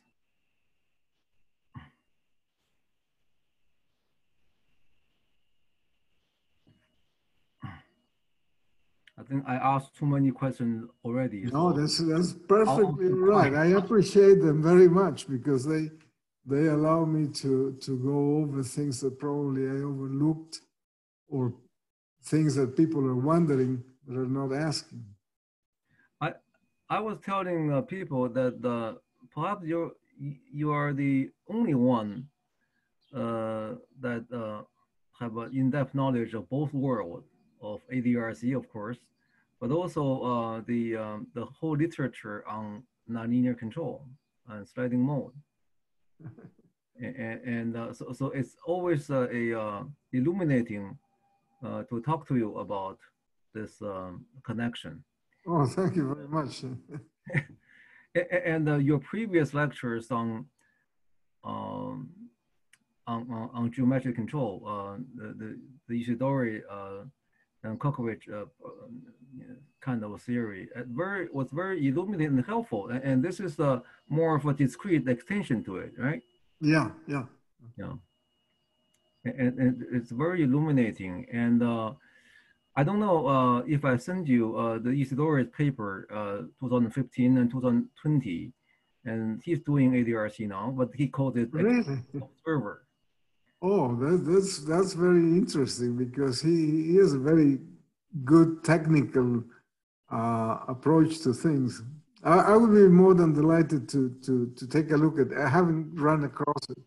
Okay. But I would appreciate if you can send it to me. That would be fantastic. Yeah. And, and uh, he wrote a book in 2017. And in the book, he basically wrote the ADRC uh, uh, control law in it. But of course, he called it something different. But uh, but basically, yeah. extended observer, and uh, he called extended observer instead of extended state observer. Yeah. So, uh, so, so, so, I think uh, it's uh, uh, very good for us because now we have a, a, a, a new kind of uh, theoretical support for this kind of thinking. It, it, it become more or less a mainstream. Uh, it, it joined the mainstream. It used to be discarded as a kind of uh, a side, side work, but now it's entered into uh, Khalil and Isidori's vocabulary and, and their papers. Yes, and uh, as I believe I mentioned you some, some days ago, uh, I believe, first of all, that it's fantastic that Professor Isidori is, is doing contributions in this area. And, uh, and, and, and that sort of is very satisfactory because he, he is a very, or, you know, ordered guy with a beautiful mind that, that will give you a lot of insight into the mathematics and, and the practical aspects. But also Stan Zak, Z-A-K, yeah, from, from, Purdue, has has a, a, a, tutorial in the next in the upcoming ACC in Denver, in which he he gives a, a course on on observer based. I mean, if you if you read the abstract of, of his course, you immediately see that what he's doing most surely is, is active disturbance rejection control. Mm-hmm. Great. And this is a person that comes from sliding mode control area, of Lyapunov stability, and uh, neural networks. And uh, it just landed into ADRC, which is right. very nice to know. so, so, so, so maybe uh, you, you, you are in the best position you're in the best position to uh, comment on this. So, so does it mean that uh, uh, this nonlinear control that used to be a, a purely model-based, you know, feedback linearization, um, um, geometric control, they, they're all uh, uh, dependent on precise mathematical model.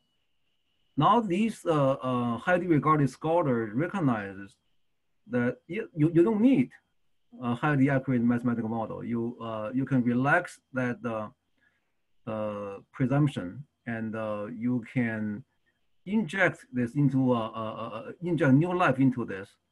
Uh, of course, the, uh, in their mind, is the expansion, is the improvement of their previous work, as opposed to wholesale change. Um, but it does provide us a, uh, an, an analytical uh, support in yeah. what we're doing. And, and, and Isidori is very uh, graceful, and he always attributed the, extended, extended observer to Professor Han's uh, uh, paper in Chinese from 1995. Wow. So I, maybe he learned how to read uh, Chinese, or but he always uses that um, that um, paper as the starting point of this whole thing. Yeah, yeah. So, so, so, and the, the method, the, even the terminologies are uh, very similar. That instead of uh, um, uh, um, F and B in ADRC, they, they have uh, uh, what uh, G and F, G and F. Yeah, yeah. it's it's almost identical. And, and uh, the other school, right? You know, in the old days, there were two schools of control theory. In the East, they had the A, B, C, D uh, representation of linear systems. And in California, in the West, they had the FGH uh, sort of representation of linear systems. Right. So, so maybe some students will be able to uh, uh, dig out the, the, history on this. Uh, earlier in Han's career, in uh, I think it was in the late 70s, early 80s, that he proposed a uh, feedback linearization techniques for nonlinear uh, control. And a couple of students from Tsinghua University, a couple of PhD students applied that to power systems uh, to, to great effect. And, uh, and they won the Guan Zhaozhi Award, the, the most pre prestigious uh, uh, award in control uh, um, community. and this was in the early 90s. it's, uh, it provide, it's from what they told me, it's a much simpler approach to get to the same uh, solution as the geometric control would provide. So, uh, so Han, Han was not far from geometric control. He just uh, didn't uh, think it's necessary to go uh, that go into that much trouble to to, formal, to formalize it. But he proposed he so, so he first proposed the uh, uh, feedback linearization technique, which is model based, as I understand, and then he of course, developed ADRC to uh, relax that uh, that condition. So now Isidori uh, com comes into uh, the, the picture. So um, I, I, I, couldn't think of a better person uh, than you to uh, put this whole story together. I mean, this whole thing runs in circles. Now, now, now they uh, converge. Now they overlap. Yeah, yeah, that's that's true. I, I believe that that's the case. It's fantastic to know all these contributions that were made by, by, by, um, by Professor Han so long ago, and that uh, probably the, the, the underlying language barrier prevented it uh, from being widely acknowledged in, in, in our side of the world. But now that we know and that we have that, that uh, verification, there shouldn't be any excuse for for not for not quoting him and following his work or expanding his work or just recognizing his work is one of the basic of yeah it's a it's a pity it's a it's a pity he didn't publish uh, uh, uh, papers earlier in his career or in, in, even in the most of his career he didn't publish in english but his idea was so expansive, it covers yeah. so many directions. And uh, his, uh, uh, his work on differential, uh, uh, on differentiator. I mean, there was one, uh, one scholar in China spent his entire career on, on improving Han's differentiator. And, and he was able to apply it to, to magnetic, magnetic levitation in trains. Yeah. And so, so, so, so, so that's that's, that's just a small part of his work. And uh, it's, it's just uh, mind-boggling uh, to see the reach of his uh, ideas and not, not, not even uh, the biggest name in nonlinear control come back to his idea. His yeah. it's, it's, it's, not, it's not just a, a ESO, it's not just a, a, algorithm, it's a, it's a force of idea behind it. it, it yeah, yeah. So, so, uh, I, so, so we, we, we feel uh, fortunate that the, the, the, to have you, uh, you, know, you, you spent uh, decades in, uh, you know, uh, in, uh, in sliding mode control, in uh, geometric control, and uh, you published so many papers uh, and so many books. And uh, so, so that's why I, I, I peppered you with all these questions because you're the only one. Oh, no, that, I, I appreciate those, as I mentioned, I, I appreciate them really very much because because it gives me an opportunity to, to also listen to your, your side. And this, this historical perspective is very important because uh, in, in, in our, in our uh, profession, we're so busy with things that are going on and uh, most of the time don't, don't take the time to go back and, and see the basis and the fundaments of, of things that were worked out long ago and uh, with original ideas that, that still prevail and that can be expanded to some other domains in a manner that, uh, that will give benefits to our profession. Right. Uh, this is something that, that of, of course, it, it has to be, it has to be uh, emphasized uh, as time goes on because people tend to forget, you know, you, you you, quote the reference of the reference not very often, and uh, you, you, you stay at the reference, and then and then the original idea is, is never is never visited. And in in that original idea, there might be elements that that uh, will give you new avenues. And this is the case with Professor Han's ideas. He had so many contributions that uh, his ideas seem to be very fresh, even nowadays, because he was addressing important issues, very important issues.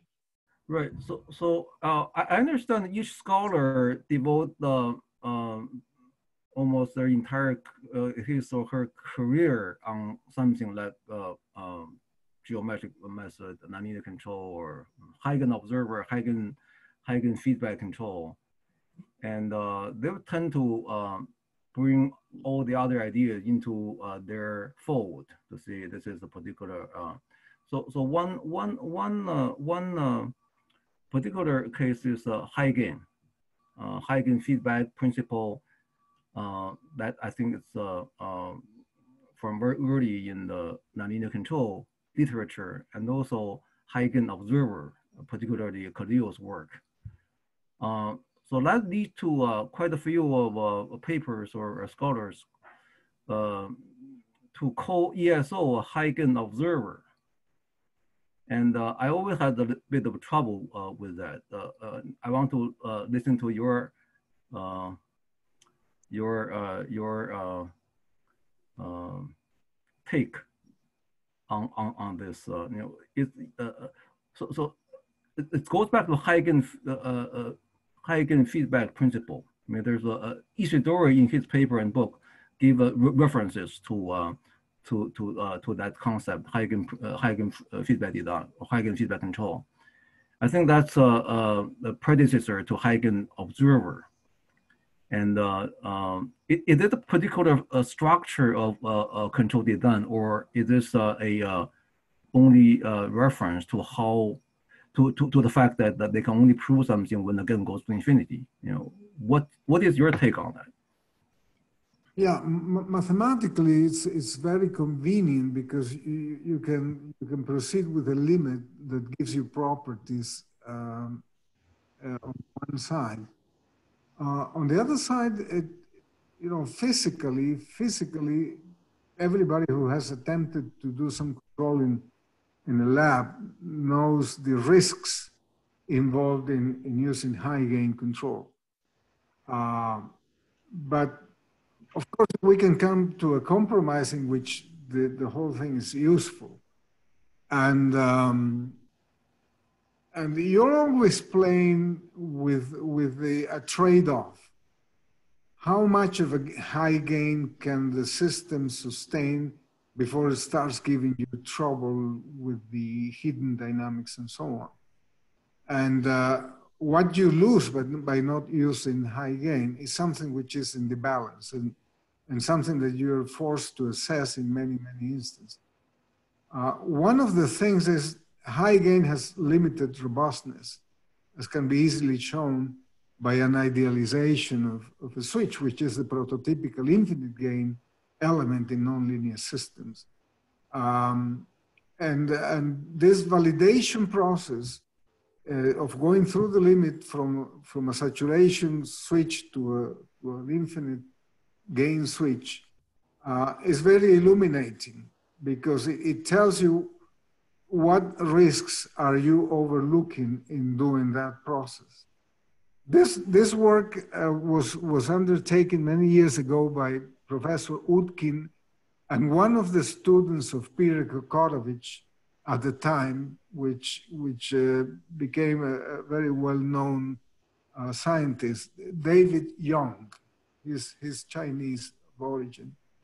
David Young and Vadim Utkin undertook the problem of clarifying the relations between infinite gain uh, sliding mode control and high gain sliding mode control or high gain control in general and looking for the parallels and looking for for the equivalence that is intrinsic in the in these two avenues of research and uh, Utkin and Young have have very interesting contributions in the area of, of high gain control. And also Professor Riccardo Marino from La Sapienza in Italy uh, produced in the 1990s a beautiful paper uh, related to the geometric theory of high gain systems. And um, and that that those pieces of work, uh, I'm sure, are related to Han's work. Uh, it, it, only takes somebody to fish out the relevant contributions of the time and just study in a parallel fashion with the contributions given by, by Professor Han at the time. And I believe that you will find striking parallelism, although the the you know the rigor with which Riccardo Marino approached this is, is beautiful because it's geometric theory, and Utkin and, and Young approached this from a from a very knowledgeable viewpoint of all the background that both of them had in sliding mode control and the relation with optimal processes. And um, this is something worthwhile pursuing, and I, I believe an interested student uh, should undertake that, that comparison and establish in a, in a paper the, the parallels, the differences, the areas of intersection, and so on. So, so, so what you are saying is um, uh, with high gain or infinite gain, uh, or with gain uh, goes to infinity, you, you have this nice mathematical proof of convergence of uh, asymptotic behavior. But what's missing is in the middle, that the gain is not high, it's not low. What's what is the characteristics of the system um, in that uh, range? I mean, that's where uh, most engineering um, system operate at. Not not gain at infinity, of course not, right? Of course not. Um, so so in the geometric theory, in also in the high gain uh, uh feedback theory, was that the missing part? Well, uh, I, I, believe that that's an assessment that is intuitively uh, carried out by people who want to use high gain in place of, of actual switches. And, uh, and you know from the start that high gain exhibits some robustness, but not the clean type of ideal robustness you get with infinite gain. Uh, and, uh, and this assessment has to be, you know, in practical terms, could have been exploited uh, in a theoretical fashion to give you bounds and results and say, this is, this is what you should do for a given system. Uh, this is what you need to assess in order to see what the high gain will buy for you. And why don't you, you don't need to go to infinite gain uh, because of this uh, involved risk that this property might might disappear when you go to, to infinite gain, or it might become troublesome. That assessment, uh, in, in clear, nice terms, which are not only practical but that need some mathematical machinery to be established, uh, needs to be done. Mhm. It needs to be done. So, so uh, when, when you say robustness, uh, certain or uh, some kind of robustness with high gain, you mean that uh, like in the uh, Khalil's high gain observer, F and G are unknown, and uh, so so he he he he chose to uh, to use high gain to suppress the uncertainty, and he can prove that mathematically, as gain goes to infinity, the in fact the knowledge of F and G function are not necessary in the stability proof. Uh, but but but it's not robust in a sense like you mentioned, uh, uh, hidden dynamics, right? So so uh, so so in his work or in his uh, in the high gains literature, is there a um, presumption that the hidden hidden dynamics um, is not uh, uh, there or is not to be included in the consideration?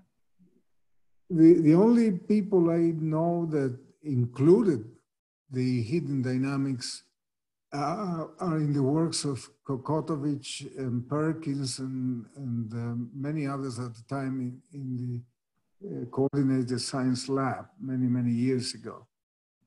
And, um, and of course, they looked at the issue of excitation of hidden dynamics and worked out bounds bounds for the performance on the basis of of uh, of neglecting those dynamics and the influence of that in the in the in the singular perturbation case, which is a limiting case, and in the in the intermediate uh, gain case, uh, they they they mainly did linear systems, but already there you have uh, you have um, a, a, lot of of insight that needs to be further explored and if you compare that with professor Han's work that, that's fantastic because he was working in more general terms even though he was not using sophisticated mathematical tools but he he was relying on, on what the mathematics told him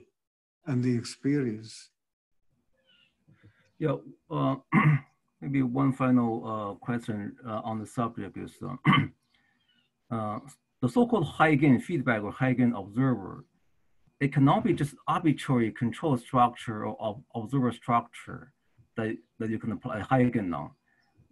It doesn't mean a uh, special structure of uh, a control or observer where the um, um, the property of system can be uh, or, or, or, nice property can, of system can be obtained by pushing the gain to very high or almost to infinity. So, so, so, so it's not just a, a, a high in terms of parameter value. It's, it's, it's a, it's a, uh, some kind of uh, uh, so, so-called high gains, uh, high gains, Huygens design just uh, doesn't mean a certain structure of design, not just the value of the uh, parameters. Yeah, I, I, I agree with you that that has to be part of it because it, it, you know the structure is important. Unless you're in the very special case of flatness where the structure collapses to a very simple structure. Right. Uh, but the, the real issue probably is with systems which are non-flat. Those are the hard to control. And if you have this issue there, uh, then it is worthwhile to know what the limitations you're facing with whatever linearization you can carry out into the system, which is only partial. It's not complete. And, uh, and the structure is definitely would play a role there because whatever you have in the, in the area of influences or consequences of your high gain design into the zero dynamics are, are, are crucial. Mm-hmm. crucial. Yeah, the reason I'm saying is that the when I look at the high gains uh, observer uh, of uh, Professor Khalil, it's a particular structure of observer where the all the parameters are collapsed into one single value epsilon. Mm -hmm. Uh, for that, so so so he only need to uh, make if epsilon go to zero to show the property of the uh, observer. But that behind the epsilon is a it's a unique observer design. It's a stru- it's a unique structure that make it happen. So so what I take is the, the, the so-called uh, uh, uh, observer design or extended high gains, Huygens observer is a particular structure of the uh, of the um, uh, uh, observer, not necessarily the um, um, the the the, the value of the parameter itself. This is important because it, it, seems to it seems to be overlapping between ESO and extended high gains observer. It seems to have the same structure, except in the on the ESO side, we parameterize it with omega O as a bandwidth, which is a physical variable. It's a, it's a intuitive, very intuitive in uh, engineering sense. And uh, uh, and the whole point is to keep omega low, omega O low, so so you don't uh, trigger an, uh, uh, hidden hidden dynamic. You, you don't amplify noise unnecessarily. So we we would never call ESO high gain observer because the we want to minimize we want to minimize the, uh, the gain of ESO uh, uh, beyond what we needed for, for, for, for the control purposes. So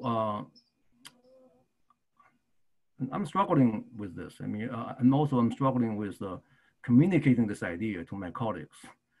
So maybe you can help me uh, with a better explanation or better um, terminology. Yeah, I, I believe we all all are in the same in the same boat. yeah. Convincing colleagues this is one of the important aspects of our work. Uh, it has to be. Right, right. There has to be something in the middle. You cannot go extreme. I mean that that problem problem we have uh, I have with uh, sliding mode control is, is you you go from low to high I mean, constantly, and it seems you are you are living on the edges. You're that, that just doesn't doesn't uh, uh, uh, coincide with my engineering uh, uh, uh, side of this. In, in, engineering, you always you always want to be moderate. You want to to take actions, not too drastic action. Like, like the hidden dynamics you mentioned. If you if you do this too too quickly, you excite all the resident mode in the system, and you you're you'll be in the world of troubles. So philosophically, uh, this this drastic uh, uh, uh maximum or minimum control action uh, and the constant switching between them, philosophically, it doesn't uh, coincide with engineering reality. That's that's just my opinion. Yeah, um, I, I, would qualify your statement, which is absolutely true for a large class of, of physical systems. But I would qualify that because there, there are systems in which you have no choice. I mean, your control is a switch. Right. Your control is yes or not.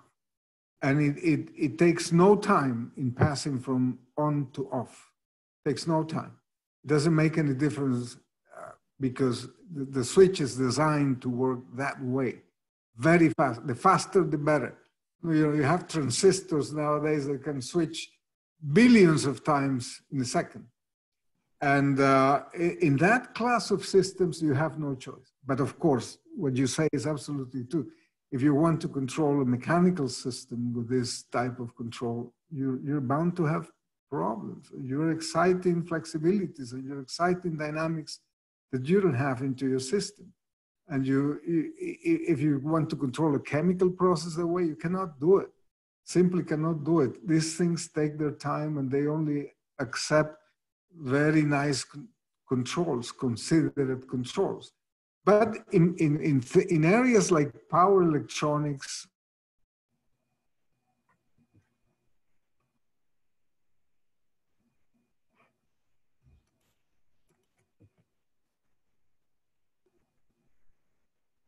or error correction codes billions of times per second. And, uh, and of course, in there, the, the, the theory allows you to get some to some sort of average behavior in which the, the switch will never heat up. The, the, the switch is ideal. It, it, will always be commuting widely uh, from one value to another and creating some average sort of dynamics which is beneficial. This is the only area that I know and that I'm familiar with that in which high gain, infinite gain control works uh, appreciably practically for you. But aside from that area, this is one of the reasons why I, I was so inter- I have been so interested in, in, in, in power electronics because for me is the only natural area of sliding mode control. Mm-hmm. Mm-hmm. I mean, r- robot systems, mechanical systems, cars, uh, they shouldn't be controlled with, with these continuous control inputs. I mean, you're, you're, you're asking for wear and tear, you're asking for, for problems that were not present in your original design objectives. You're destroying your, your, your system reliability at some point. While in electronics, it doesn't matter. I, I mean, the, the electrons move so fast that you can, you can bounce them on and off uh, forward and backwards with no, no inertia problem. Yeah. And, and this is accomplished by a switch, but, but, yeah. uh, but when you're doing this with a machine, uh, no, it's, it's, it's, only in fantastic circumstances that this works. There is a, there is a, a place in, in Sheffield, in, in England. You know, this was a high industrial center in the, in the Industrial Revolution. And they have this big, big vapor machine, which is enormous. It, it just weighs hundreds of tons. And it has a wheel, which is immense. That's like three meters in radius, and it goes through two stories. And this machine, there, there is a guy there that became famous. He's a touristic attraction because he's able to switch this machine, which is going forward at a very high speed with this enormous wheel of six meters in diameter. Going forward is a steel wheel, very, very, very large, very heavy. I don't know how many tons it weighs. And it's going forward at, an appreciable uh, speed. And he does some maneuver with the with the valves and things, and he and he reverses the, the motion in almost no time. But but he he he does this as a touristic attraction because he's the only guy capable of doing this and demonstrated to people what he can do with this enormous machine, which is part of a museum. It's not even working in an actual factory. It's part of a museum because of this. And um, and uh, but aside from that, which is spectacular, uh, I don't, I don't believe you can design a process based on that property that's going forever because at, at some point the machine will break. Yeah, I, I, I yeah, I, I, I want to qual qualify your qualification. Uh, two, two things. One is uh, we have a, a lab uh, experiment in the lab controlling water level we uh, we use controlling, a sorry controlling, controlling uh, water level in a tank. Water level, okay. Okay, so so uh, we we buy a, a on-off valve, uh, electromechanical valve for twenty dollars. Twenty dollars. So so so then you you can control this. You can you you you, you don't want to switch it too fast though. You don't if it switch too fast, you wear it out uh, too easily. But if you want to have a more precise control, more smooth control, you buy a $400 proportional valve. So in industry, people are very clear that there are cheap valves where there's just on and off, and, but you live with the consequences. But there, if you want better performance, you go to a higher, uh, higher uh, level of uh, actuators. So, so yeah, I, I agree with you that the most of the industrial applications you see smooth control, you don't want on off. But when you come to power electronic, Professor Li Hui here is a power electronic expert. I visited his lab in Shanghai. Um, I think you're right that the, a lot of the uh, uh, devices are controlled by PWM. By nature, they're on and off. But if you look uh, uh at the physics more closely, uh, PWM controlling the um, uh, uh, for example, the motor control, you you you you you PWM the uh, voltage, but uh, it induces a current, a, a, motor current, and that current you don't want it to be choppy. So even though in uh, in the power electronic you do have PWM, it's uh, it's uh, uh, one end of the uh, the device. On the other end of the device, when you convert voltage to current, you you uh, you still want the current to be smooth. Otherwise, you you introduce all kind of jerks into Yeah, uh, yeah. your motion, and you destroy your transmission. You destroy many your load. Yeah. So um, I think it's not a blank uh, uh, uh, coverage. That uh, anytime you use PW, PWM, you are free to do switching uh, to, to sliding mode control. So I just want to throw that in there. Yes, uh, there, there, like a power converter, maybe. Yeah, I, I think that's uh, you're absolutely right. With a power converter, perhaps you, you know, you, you, you there's not uh, uh, there's not as much concern. But with a when you connect it to a motor, to a, a actual uh, Yeah. device, Yeah, right. You, you're right again, because you see the, the, all these pumps or motors are electromechanical systems. The, the, electrical part is one thing and it sustains, it sustains, um, you know, frequency, uh, high frequency switchings. But the, at some point they have to be translated into the mechanical part. And Right. that's where the thing doesn't work as desired because the, the, the ideal conversion of energy somehow starts failing when the frequency starts going up. right? And, um, and uh, in electromechanical systems, I would also agree with you that that yeah, nowadays you can you can buy. In fact, I had a student. Of course, I gave it as a, as a course project to control the level of, of, of, a water tank by means of a small bump, bump pump that, that was able to switch on and off, you know, hundreds of times or thousands of times per second. And they got very good performance. And the Pump, as you say, costs three dollars.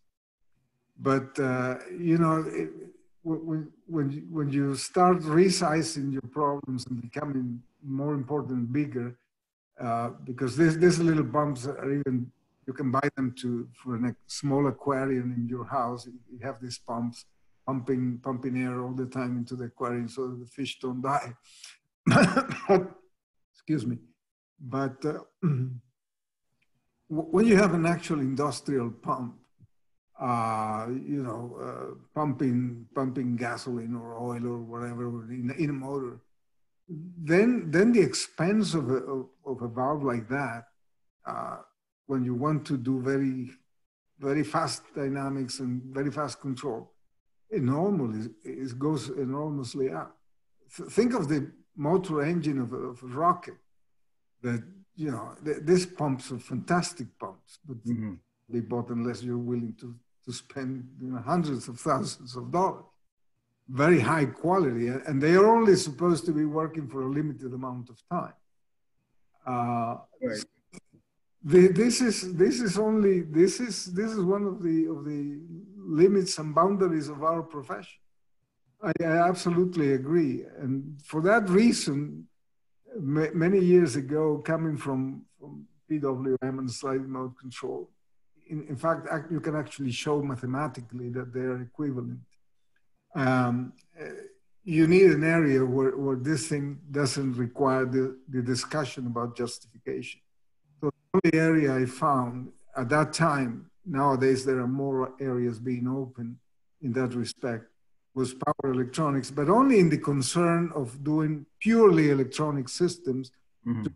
for energy from one device to another without involving mechanics. That is the part that, that I question. Right, right. You involve, involve the mechanics, then you, you're much better off with something as possible. Okay. Well, uh, thank you so much uh, for for your great lecture and uh, illuminating conversation. Uh, let's see if uh, any other questions from the audience. I'm sorry, it's uh, No, we are, that's okay. well way over two hours now. Any any questions from the audience? Uh, Professor Li Hui. Uh, yes, uh, thank you, Professor Gao, and thank you, Professor Ramirez. And uh, I have a, a small question about uh, the lecture, and uh, it's uh, on slide 84. I'm sorry. Uh, You- excuse me, slide 84. Uh, can, can you say that again? Uh, okay, uh, I have a small question about uh, slide 84. Slide Slide- 84. Oh, okay. Yes, slide 84. And uh, because that, that slide is about how to calculate U key and uh, uh, the, uh, the, the, the control variable. Because that, uh, I, I think the control variable is calculated by uh, yk plus 1 and yk plus 2. And uh, I don't understand why, ye- yes, this slide.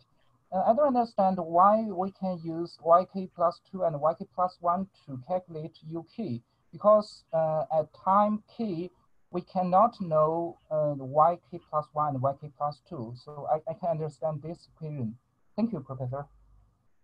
Oh, yeah, yeah. Uh, I mean, you, you're thinking of an implementation and, uh, and in that implementation, of course, you- you're not, you, you, you only know yk, you don't know yk plus one, yk plus two. That, that is, that is correct. But this doesn't have anything to do with, with uh, an actual implementation. This, this is a structural property. This is what you want to establish is a structural property linking the input to the output. And what you have is a second order system here.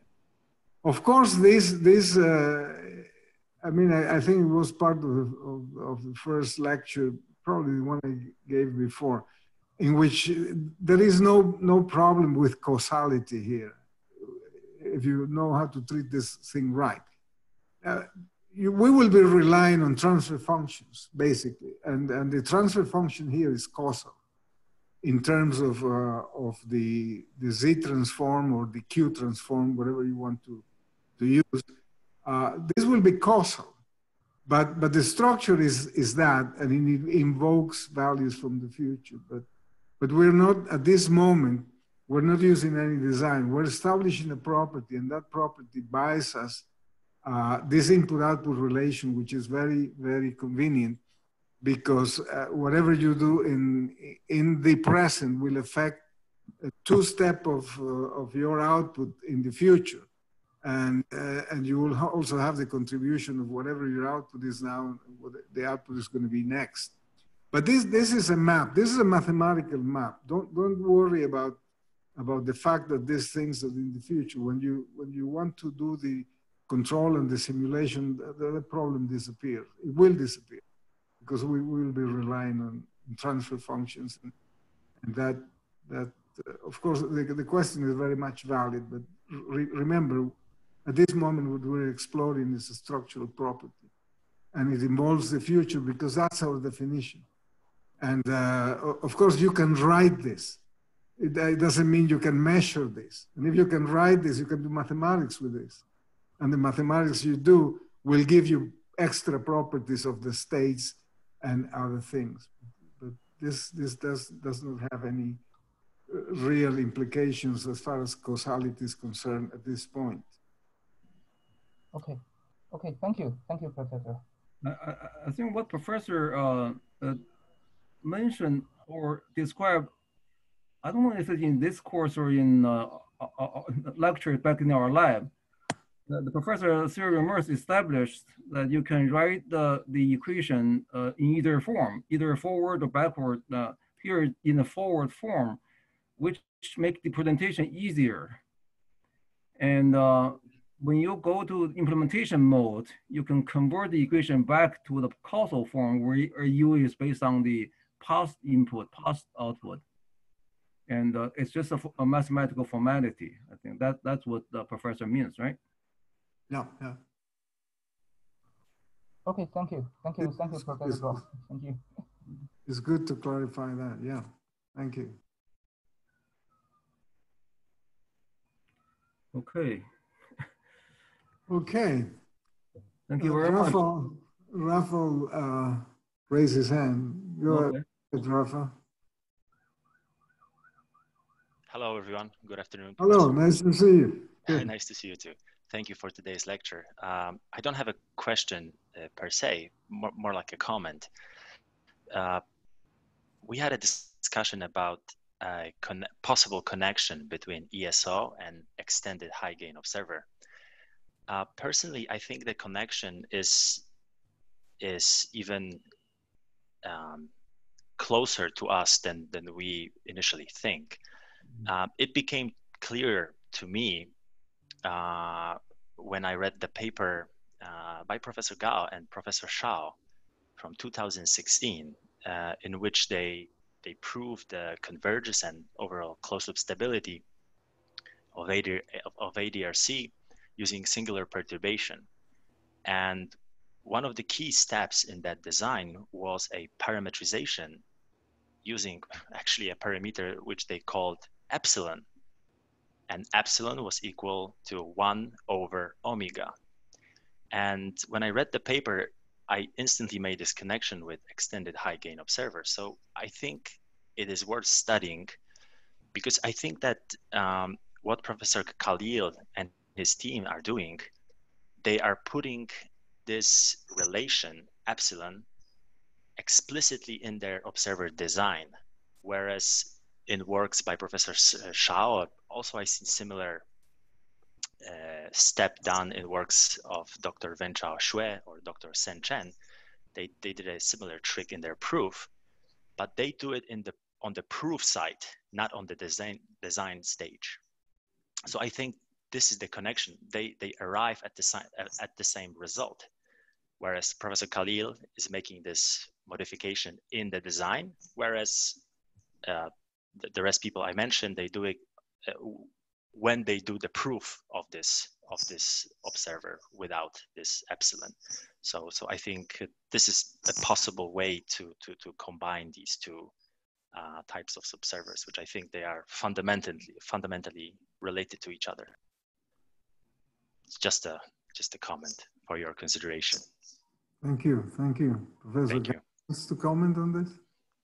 Yeah, I I think if you read the paper uh, introduction, and also in the conclusion, there's a, almost a one-page conclusion uh, distinguishing uh, this. Uh, uh, I mean, in the Professor Khalil uh, paper in 2008, distinguishing the proposed method in that paper from Professor Jiang and, and his advisor's work from early 90s.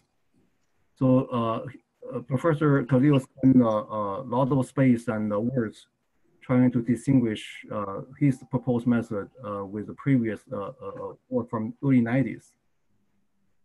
And uh, so he's very conscientious about the, whether or not this, uh, this, uh, this method is novel, very much. Unfortunately, he did not uh, cite Professor Han's work from 1995, which is uh, closer. And uh, uh, so, so if you go to the introduction and you see that uh, this work started in, in the conference paper from 2006, if I remember right, uh, CDC in December. And uh, the paper originally, I think, uh, uh cited uh, uh, our paper from 2006, ACC, which, in, which was in June. Um, that paper was a survey paper that introduced this, the um, Professor Han's ESO among other observers. I think that's that that that's what the starting point uh, that lead to uh, uh, the uh, Professor Khalil's paper in late uh, late late that year in December. So there was a, a, reference to Professor Han's work in the conference paper by Professor Khalil's group, but not in the journal paper. Uh, so so that's that's unfortunate. But the back to Isidori Isidori's work from 2015, 2017, 2020 all referenced Professor Han's work in 1995. So that, that's, that's what beginning. I mean, you cannot go earlier than that. That's was the beginning where the uh, extended state concept it, it's, a, it's a extending the, uh, uh, the, the, um, uh, the state definition to this quantity this quantity is both of internal dynamics and also external disturbances. And that does not go earlier than Professor Han's work in 1995. So, so that's the invention. That's a that's a proposed that's a proposed uh, uh, that's a newly proposed novel uh, uh, observer design. Uh, but I give Professor Khalil's full credits on on proving it using the very solid mathematical techniques and establish the, the convergence between the nominal system, like I said before, and the uh, disturbed system in, in a closed manner. So I think that that work was uh, very, uh, know, uh, we, we had a discussion last week uh, with Professor Shao and Professor Shao gave us a very in-depth look at how that was done. That was brilliant. So there's a lot uh, to be learned from Professor Khalil's work. But make one thing clear, the original invention belongs to Professor Han. So that's my comment on it. Thank you. Good. Yeah. And, Well, any thank other- you all for- uh, Any other uh, uh, questions? We, we, we almost uh, two and a half hour now. So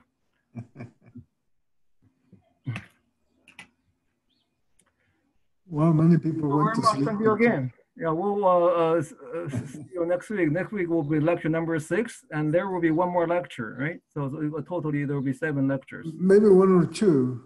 One One or two I'm, I'm leaving, I'm leaving on the 11th. on the 11th. I have to leave this apartment where I'm staying on the 9th, I believe. Right.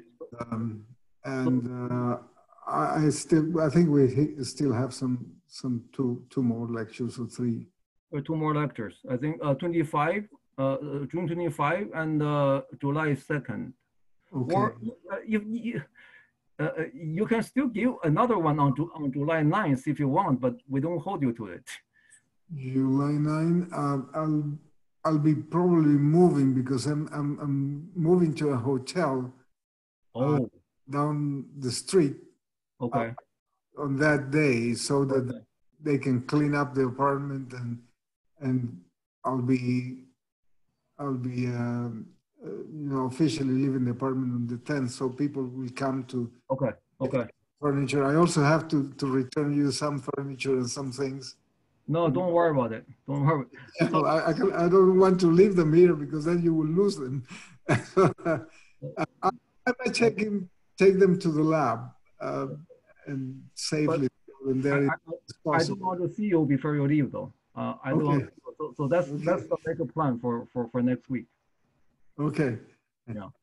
Anyway, uh, so, so two more lectures, 25, June 25, that's the uh, search day next week and uh, two weeks from today, June, June, uh, July 2nd. good Okay, great. Thank you very much. Yeah, Thank you. Thank you, Professor. Bye-bye. Thank you. Bye bye, Professor. Rafa. Thank you. Bye-bye. Bye, Bye-bye. all of you. Have a good time. Take care.